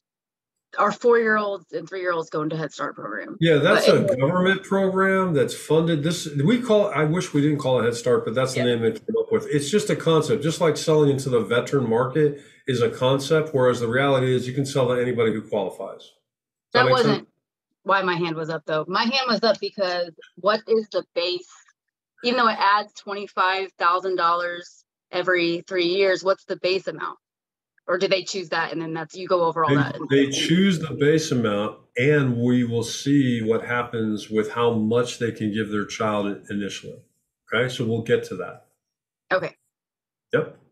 Uh, Virginia Robertson already unmuted. I love it. What can I do for you? I learned. So if in your grandparent scenario, if the grandparent buys the policy, like I, if I bought the policy for my son, in case he had grandchildren, that deal. Is it my son or me as a grandparent that are, is able to take cash value out of the It's whoever owns the policy. So here's what typically will happen. You'll I would buy it for my son at let's say 10 years old. He's not going to take it when he's 18 because guess what? He doesn't work. He's going to college, whatever the case may be. He doesn't actually take over the payments until I either tell him, hey, I want you to own this, or until he's starting to think about a family. Because when that happens, I'm going to say, hey, we should give this to you. You should make the payment on it. right? Because it's going to be for your kids in the event of your death. So we need to change the beneficiary to those children. I no longer need to be the beneficiary, do I? I'm the grandparent. I don't need the benefit of the money because I bought it really not even to pay for his funeral. I bought it for him to protect his kids and his family in the future. So I want him to assume ownership of it at some point. However, I don't have to. I could keep it forever if I wanted to do that. Okay, I'm sorry, I'm not explaining what I mean. I'm not, I'm not really talking about the beneficiary as much as normally the owner, I, I thought that the owner of the policy is the person that can take cash value out of it before, you know, not, not in case. That is correct. Pull cash value out, right? If, if I decide, so normally I would guess, I would assume that I could take cash value out of it because I'm the one that bought it for my Yes, son that's true. grandchildren, anyway. But could I at some point, even if I, uh, and I still own the policy, could I allow my son to take the cash value out? No, no, because it's it's only for you. You only you can take the cash value out if you're the owner. So what you would do as a parent is you would transfer ownership of that policy to your son in this example, so that he has it and he continues to make the payments and he can take the cash value out when he wants. Okay, Okay. Awesome. So I'm a big believer in the Head Start. Trust me, huge believer because if you explain it the way I did or some semblance of that, people get it. They're like, oh my gosh, I can really help my future generations out. People are more likely to do that than get insurance for themselves. It's crazy, right? But it works. So why not leverage it? Okay. So that is the Head Start. Then we have the Children's Rider. I said I didn't like this one, but I do use this in one circumstance. And that is when somebody tells me, hey, I've got more than one kid. I can't afford to pay a bunch of head starts. And then in that case, I say, okay, no problem. I'm going to give you a rider, but understand the rider is not an insurance policy on your children.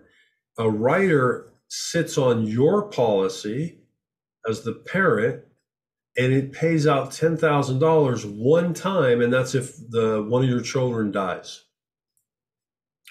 Okay, and it doesn't have a guaranteed insurability option, all the rest of it. Now, what it does have is it can convert to 50,000 at age 21 and it's guaranteed to convert regardless of health or habits. So there is some upside to it. So I would include it if people have kids, but I'm going to try to do the Head Start because I think downstream that has much more value and you're taking care of that family more than just the children's rider.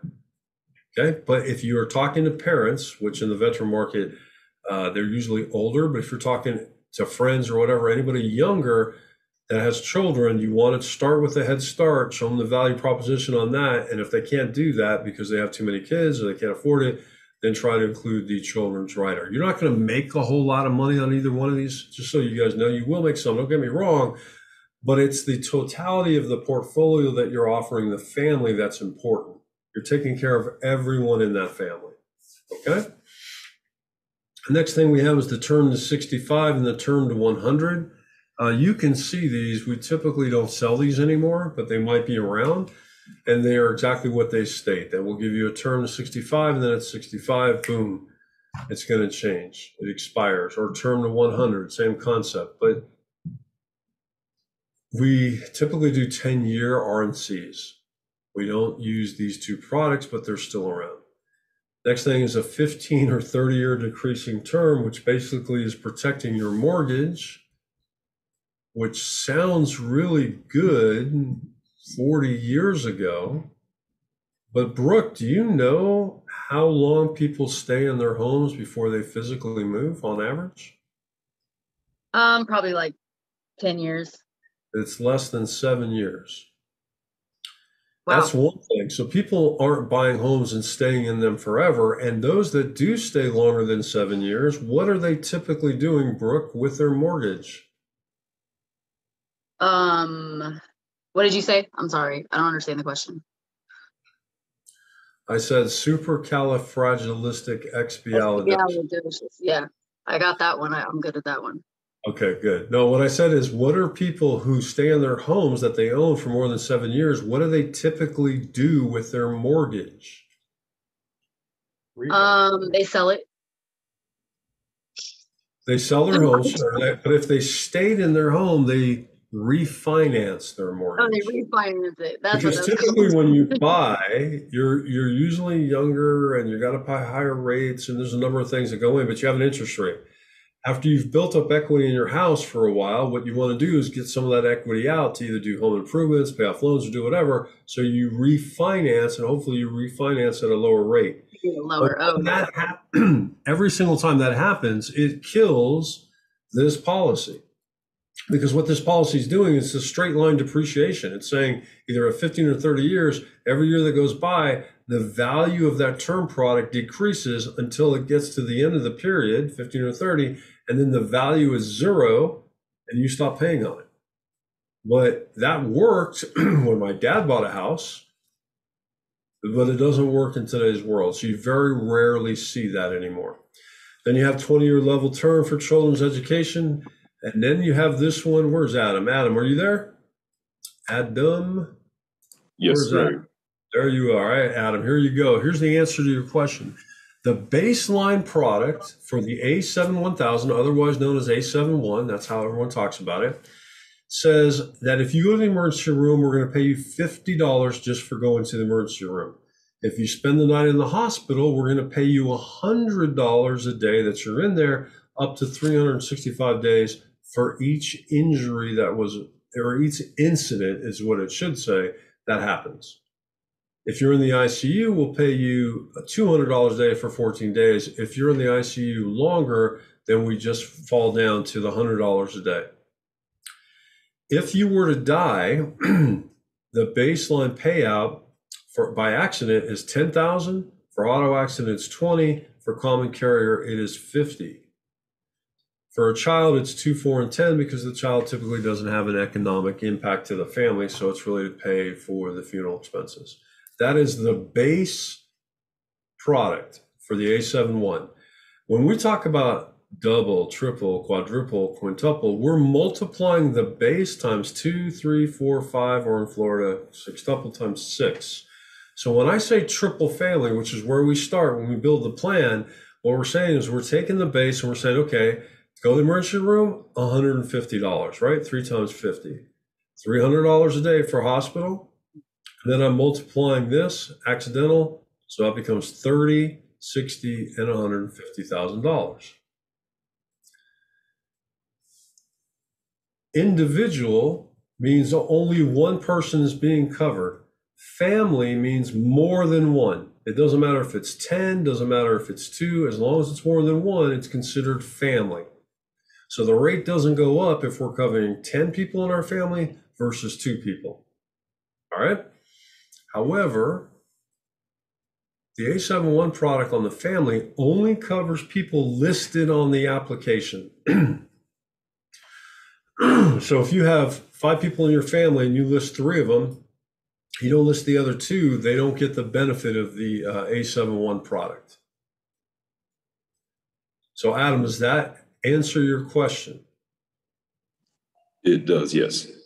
Perfect. Now you're going to ask me, well, but why do you start in triple versus whatever? So I'm going to show you why. In this thing here, we go back to the plan generator. We know on recommended, I said triple, right? So that triple, when I look at the plan itself, that means I'm going to pay out 30, 60, and 90. Well, that red number is the sum of the whole life for both Helen and Tom and the 60,000 for each one of them on auto accident. The reason I started triple is if I didn't start a triple, then that 410,000, say I started at single, that 410,000 when I allocate the remaining looks like this. Well, no, it doesn't look like that. What did I do wrong here? Oh, because I went here. Sorry about that. So go to dollar a day, drop that down to five, allocate the remaining. I think that'll work. So remember, I was at 400 and something thousand and now dropped by 100,000 because it's taking that number and driving it through the roof, right? So that's why I always start at triple. So this should be, uh, if I said single family, and allocate the remaining, then the payout here would be 369. So you lose like 50, 60,000. So what we're trying to do is get that red number as high as possible because logically, or not logically, emotionally, the red number is the one that people remember. Right? So if I take this same thing, still at 30417, if I did this, if I went to the plan generator and changed this from single family to quintuple, and then I allocated the remaining, the price point remains the same at 30417, but look what happens to that red number. It now goes back huge up to 481,000. So you can actually have the price the same and have that red number move up or down. When we move the red number up and down, we're taking the face value of the whole life and we're moving it up or down because that's where the money comes from. Right? And the way you know that, if you go back to the plan generator and you look at this, you go, okay, quintuple family, it's $22.33. So if I move this down to single family, now it's only 467 which means I have $17 left over. When I allocate it, it's going to put it into the whole life for Tom and Helen. So most people don't look at that whole life and immediately think to themselves, oh, I want to get the maximum payout. What they're looking at is the big red number. So you want to drive that as high as possible because they could potentially die in an accident and that would be paid out.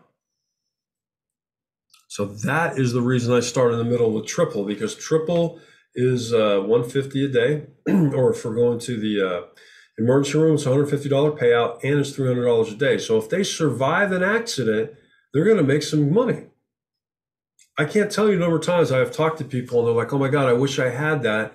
My son was in an accident and I had to take 10 days off of work and I only had five days of PTO. And I said, exactly. If your son had been under this program, I would have paid you $300 a day for those 10 days, you would have got a check for $3,000.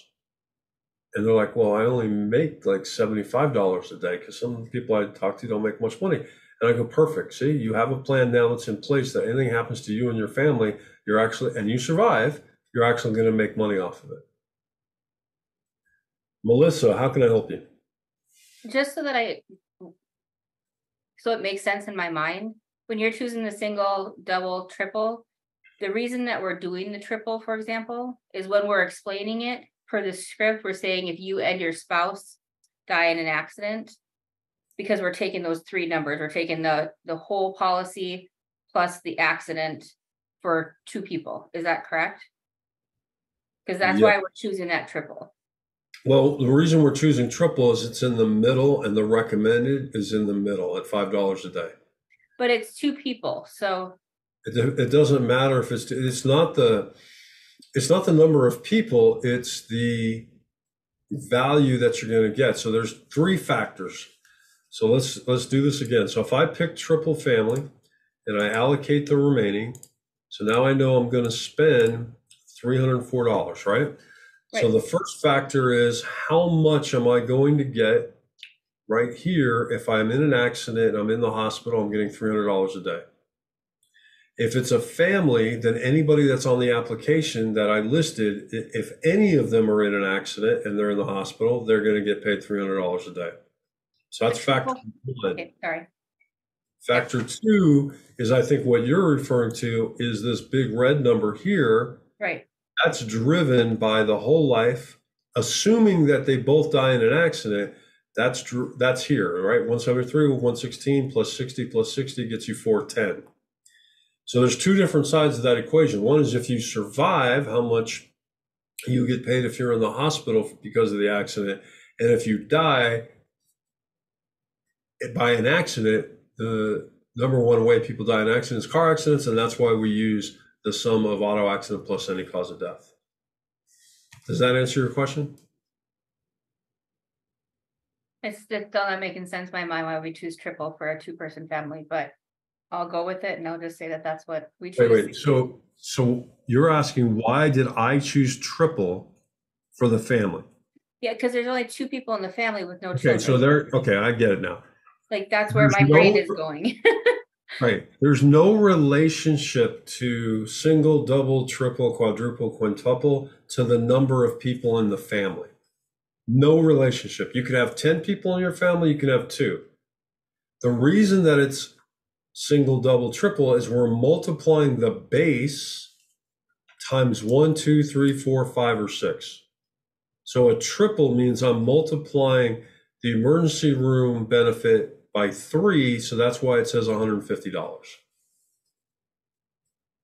So again, there's no relationship to the number of people in a family. As long as it's more than two, then it's called family. If there's Okay, only so one, that's the benefit that we're providing them then, instead of versus the number of people in the family. Yes. Okay, got it. That, no, just clicked. Thank you. Okay, Sorry. awesome. All right. So then we kind of went into that. so there's a lot of power here. But here's a key for everybody you got to have your accidental and health license to sell this. So I think in the beginning, I asked people in the uh, preliminary aptitude assessment how many people actually have their life license. Some of you said you, or I'm sorry, your accidental license. Some of you said no. You need to get it. Talk to your upline. They'll walk you through it. Because if you think about what happens here see how this has value? That number is 410000 okay? Everyone agrees that this is the triple 410000 we're all happy right? But let's assume you don't have your a71 license. Here's what happens you can't add that a71 so then this happens now you can allocate the remaining but when you go to show this screen uh-oh, you got all this blank space. The number is a little bit less because it put all the money into a whole life product. But the moment you have blank spaces, what will the client do? The client will say, well, how come I'm, well, how come I don't have anything for hospital benefits? how come I don't have? What happens if I'm an auto accident? I'm not going to get paid out anything. You see, it, it ends. the system is designed to expect you to get your life and your accidental health license so that you can sell everything. If you don't have your accidental health, it doesn't allow you to change this. So then you're showing a screen that actually is to your detriment. So please, if you don't have one, get it. Yes, Ben, what can I do for you? Are you talking something outside the 240 and the 215? If you have, you you said accidental help. I mean, are you talking about just the two forty and the two fifteen, right? Well, The I don't know. health- What do you mean by 240 and 215? Uh, two forty is your health license. The two fifteen is your Oh, life. yeah, in your state, that's correct. No, Okay, my bad. Are- are if you have your health that? license, you're good. So if you Sorry? those, you're good. Okay, all right, that's it. I'm sorry. You just I- I need your health license. No, no. Only need, so for all of us, you need your life, obviously.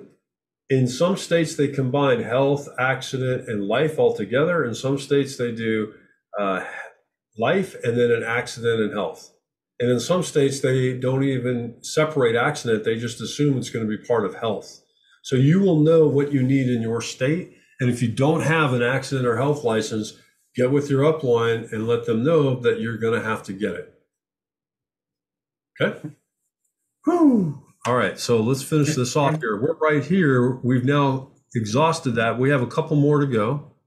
One is the A74 uh, or the A74000. All that is is an accident policy, but it's capped. It just says if you're disabled due to the accident, we'll pay you $100 a week up to 26 weeks, which to me is not that much. Uh, and but if you die due to the accident, then we automatically either pay 10, 25, or 50. So it's nice to have, but in reality, the A71 is much more valuable, which is why we included it in the script. Then you have critical illness and lump sum cancer. So critical illness says, hey, if you have a heart attack or stroke or end stage renal failure, or even a major organ transplant or a total loss of hearing, total loss of sight, we will pay out either 10, 25, or 50, whatever they signed up for. But it's a one time payout. So if I signed up for this thing at $50,000, I have a heart attack, then and I survive, they're going to pay out $50,000. If I have a second heart attack, they don't pay out anything. So again, if I'm talking to anybody who has a history of heart disease, any issues in their family, I'm going to include this in their package because I'm a good insurance agent. I want to make sure the family's taken care of. I also have lump sum cancer plan payout. Can be sold from 18 to 64. It has three amounts 10, 25, or 50. It only pays out again the same as critical illness on the first diagnosis.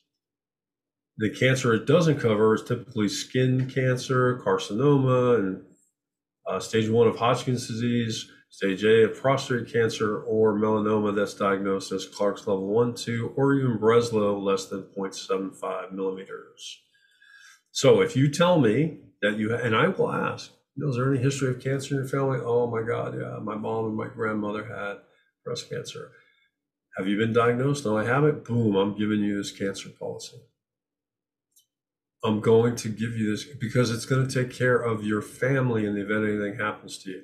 Can you imagine if you get breast cancer, you don't die from it, but you got to go through everything you got to go through with breast cancer, everything.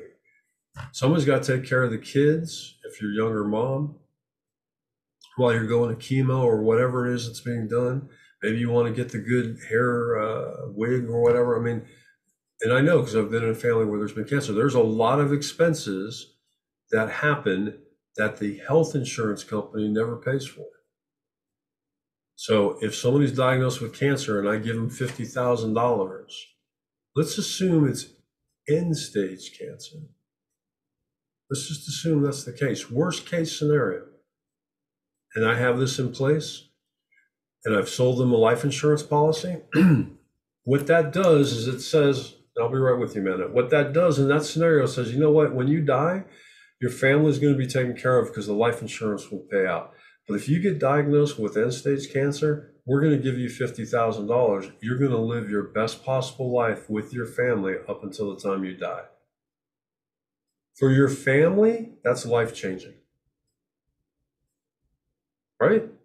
I mean, for any one of us, if I gave you $50,000 telling you that the doctor said you're going to die in six months and I gave you 50K, I guarantee you you're going to live your best life with your family, enjoy those things, whatever they might be, before your quality of life deteriorates.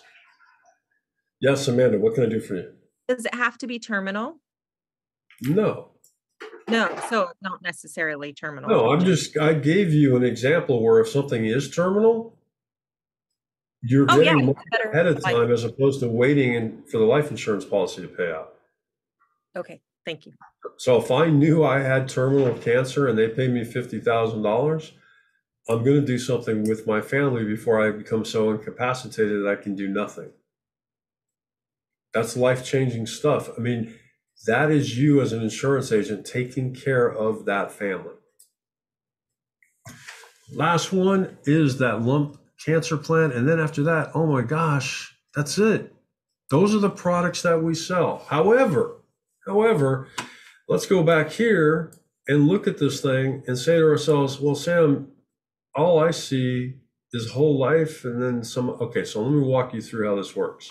When you're in the plan generator, your whole life product is, I'm sorry, your A71 product is first. So it's right here because that's the one we want you to start with.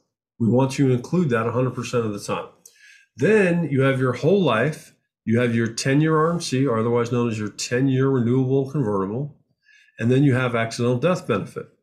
So, why do we have it set up this way? Well, if you want to sell a 10 year RNC, typically you're selling it to protect against the loss of income because if uh, Tom dies, his income dies with him, and we know he's getting about $9,100 a month. So if we add that in there, we can protect against final expense, credit card, monthly income, or even mortgage protection. And then usually the person who makes the most money we put on top because if we do that for monthly income, we can do a second 10 year renewable and convertible to protect against the house rider, right? Because we said it cost X amount per month. You multiply that times 12. I said it was 3000 a month, right? That we were paying for the mortgage. Now we're protecting against that. So let's say I did all of this. Everything looks good. And for Helen, we gave her a 10 year RNC. She made all that money. There we go. Now the cost is 444. Okay, so remember I taught you we're going to allocate the remaining. And now it gives us all these options to allocate from. Well, we don't want to allocate from the 10 year RNCs because those are for a specific reason. to give enough money to cover for the loss of income or to pay for the mortgage in the event that Tom dies. Okay.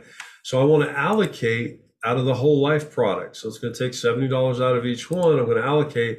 And now the whole life is 66 and 75 respectively. But my money is still at 304.17. When I go and look at this and I present the plan, it now looks like that. And now it includes this little monthly income. So, okay, if I click on the freedom of choice, it gives me that thing with my name on it. Okay, that sounds good. But if I click down here, actually, let me do this. If I hit the down arrows,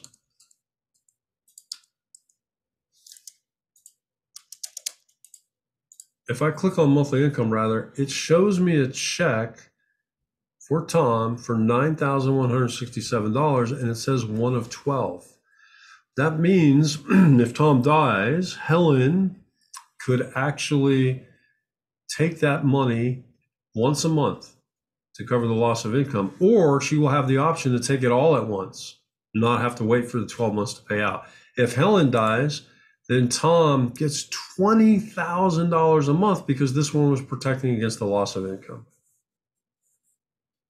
And then you can actually show this to the client. But again, you're in the veteran market, so more often than not, we're not talking about protecting income or protecting families. But if you're with your friends and you're doing this, or you're with anybody else, or you go into any other market, you will typically want to help that family ensure they're protected against the loss of income or uh, loss of mortgage in the event a loved one dies. And you could actually show that. That's very powerful to look at that and say to yourself, hey, if Helen dies, Tom's going to get $20,000 a month.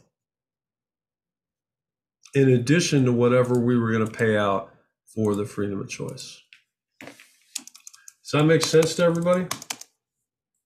So going back here to the plan generator, I talked about now you have whole life and you have whole life. Remember those bands that I were talking about? I'll be right with you guys. The bands are listed here, right? So that's EX for executive. And the other three bands are listed as well, depending on how much is in this coverage amount. Yes, Adam, what can I do for you?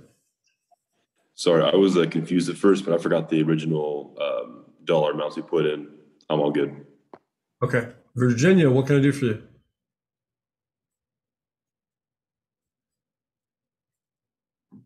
Okay, so if you decide on the, you said that you could take the payouts uh, for the monthly income at once.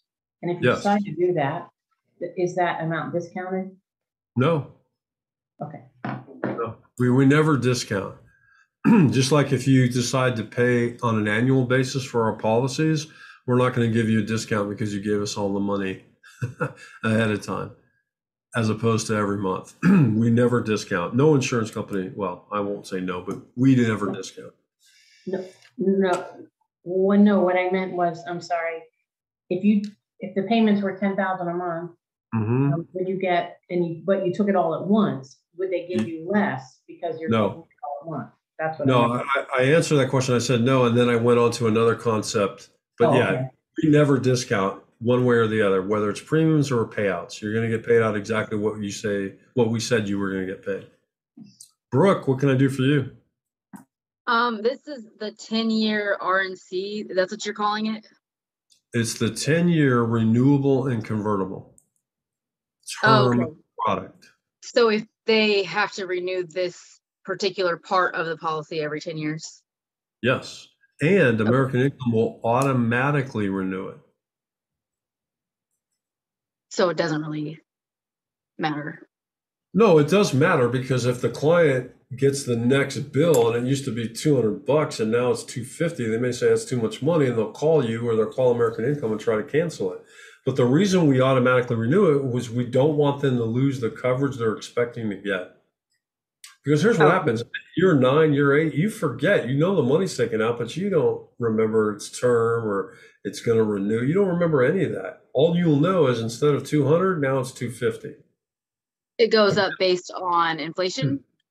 Hmm. No, it goes up because your age is now 10 years further. So if you bought it when you were 30, now you're 40, in order for us to mitigate our risk, we, we have to increase the premium. That's why I told you when you have a whole life, it remains the same because we've already calculated the total amount of money we need to get paid to offset the payout.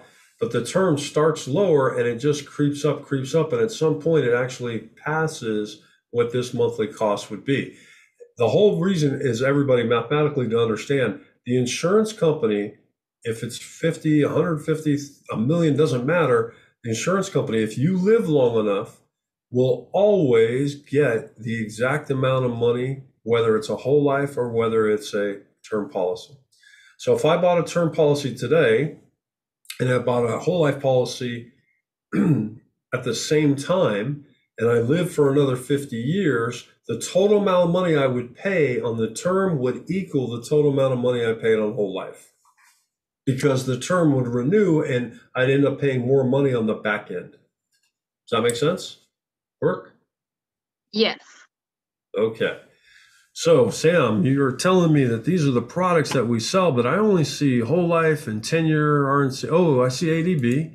So I can add ADB in there. I see that and I see it for Helen, but where are all these cancer products you're talking about? Oh, okay. So here's what you do you take your cursor you go to the left, you click on additional products. And when you do, there is the cancer products, there's the special B2000, there's a spouse rider for Tom, and then for Helen, Helen actually has a 10 year RNC. The reason that we have it there is because there's not enough room here. So we gave two to Tom, but if we decide Helen needs a house payment rider, we can click on additional products, go down to Helen, do the 10 year RNC, there's the house payment rider. So we could add it in here. It's just additional screen because there's not enough real estate on the first screen. However, in the beginning of your career, more often than not, what you're going to sell will probably look like that. And then you'll allocate the remaining. And there you go. Straightforward, simple, right in the middle. That's what's recommended at $5 a day. That's probably what you're going to sell.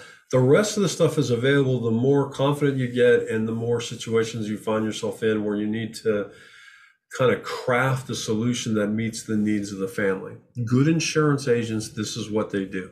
And remember, we have a responsibility as a fiduciary to ensure we're putting the financial interest of the client ahead of our own.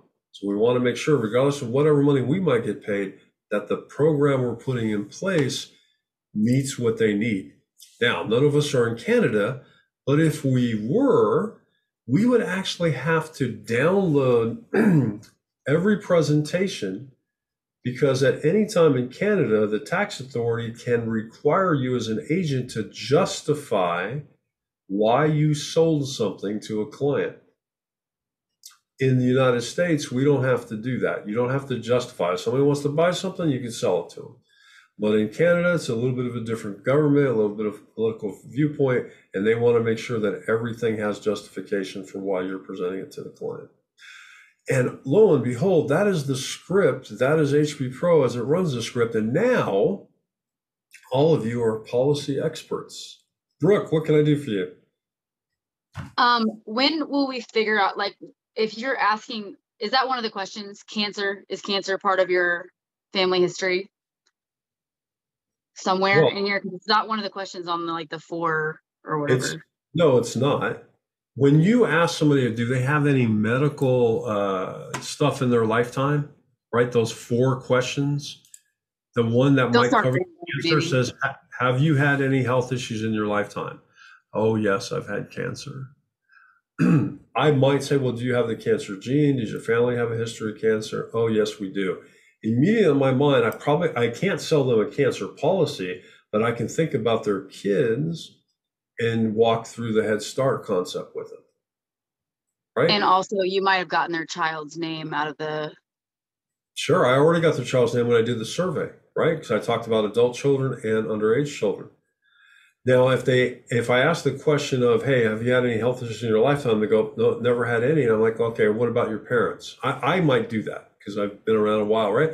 Well, does your family have any history of anything? Oh yeah, my mom has a, my grandmother had this. You know what I mean? Heart conditions, breast. And immediately I'm going to think, okay, have you ever been diagnosed? No. Then let's get you a cancer policy, or let's get you a critical illness policy. You have to, you don't have to do it yet, but as you get more and more sophisticated and experience, you're going to want to do these things because what you want to do is give them the portfolio that's best for them. Right? How powerful is it going to be if, Brooke, if I call you up seven years from now and say, Brooke, I just want to call and tell you that, you know, Laura, she just got diagnosed with cancer and they just sent me a $50,000 check. Laura hasn't died yet, but because of what you did, because of your forethought and explaining it to the client, they now have $50,000 they can use to offset the medical expenses or to go on trips or whatever they want to use the money for. There's no cap, there's no constraints on what they can use that money for. How are you going to feel if you get that call? Really good. You're going to feel Like I really my job. Exactly, and that you weren't slamming something to somebody that doesn't need it. But as I said in the beginning, we teach you the basics and the script so at least you can get started. And as you get more comfortable with the different products and understand different scenarios, you'll craft solutions that meet the needs of your client. Wow, we went through a lot today. I mean, I think I Yeah. did a lot of walking. We didn't do any breakout rooms, so holy mackerel, I spoke for what three and a half hours straight. So now you know HP Pro, you know your script, and you know your products. So the only thing I need from you, you got to practice. You got to practice because you've got to navigate this. You've got to navigate HP Pro. You got to navigate Zoom. I mean, we've got to figure out how to unmute, right? As a class, we need to work on that just a tad. But HP Pro, we need to know how to navigate with that, how to put those uh, answers in, or not answers, but I'm sorry, put in the products that we're going to select, build a plan, follow the script, understand what plans we're going to show. And then in some cases, if they tell us it's too much, what are we going to do to overcome the pricing objection? Because it's the number one objection we'll ever get. So practice, practice, practice. That's what we need to do. The homework for tonight is what? Number one, we need to confirm that we actually have eApp downloaded and updated on our computer. So we tell you that homework tonight, work with your upline, give you access, get it done, because when I start on Tuesday, I can't help you download anything. I, I can't. I just don't have the time. There's 25 of you in here. I've got to go through a lot of information on eApp and underwriting. So that's part of your homework. The other part of your homework is your A1. Make sure you know that tight. You should be able to look at me in the camera and give me your spiel. And what is the other part of our homework, Melissa? Before you answer your question, what other homework do we have as a class?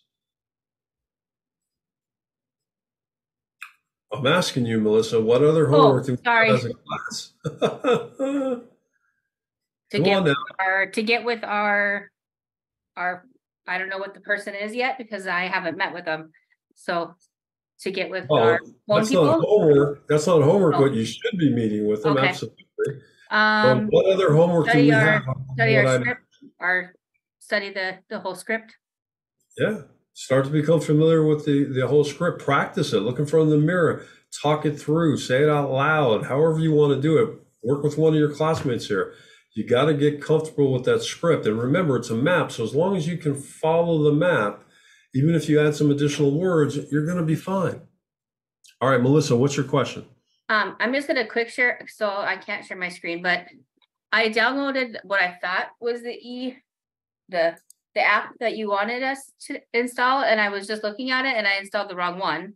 And so I just wanted to see if the one that I have now is the correct one to make sure that I'm prepared for you next week. So where did you download the app from? Well, Google Play. Nope. So the e app is not available outside of American Income.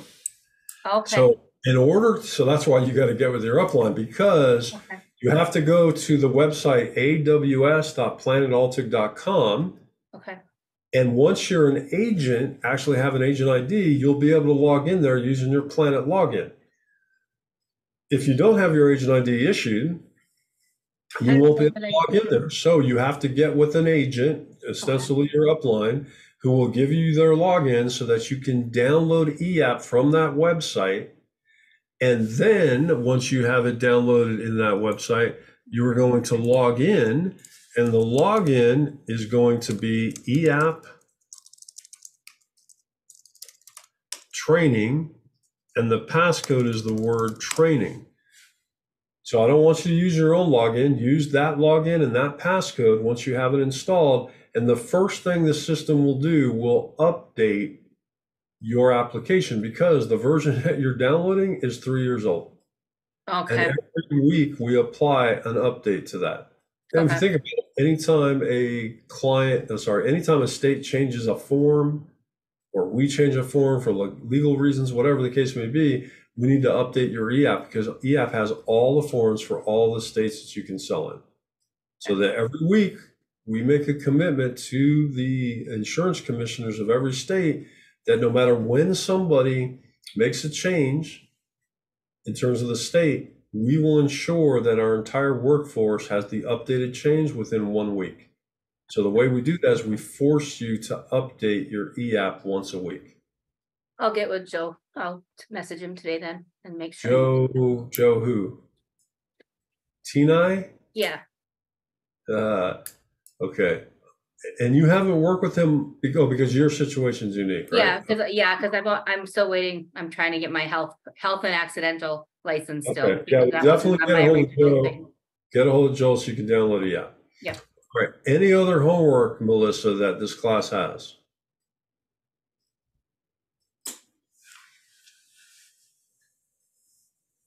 Da-na-na, da-na. No. Come on, Melissa. Is there No. anything? No, show up on time tomorrow and be energetic. Whew, that's good because I wasn't going to give you more homework, but if you were, I was say, okay, I support it. Everybody, it's been my pleasure today to spend almost four hours with you. As always, I stick around for any questions that you might have. Otherwise, if not, I will see you tomorrow at 9 a.m. Eastern. Every no, I will see you tomorrow at 9 a.m. Pacific time. Everybody, have a great day. I'll talk to you tomorrow. Take care. Bye bye. Thank you. Likewise, thanks, Sam. All right, thank you. Take care. All right.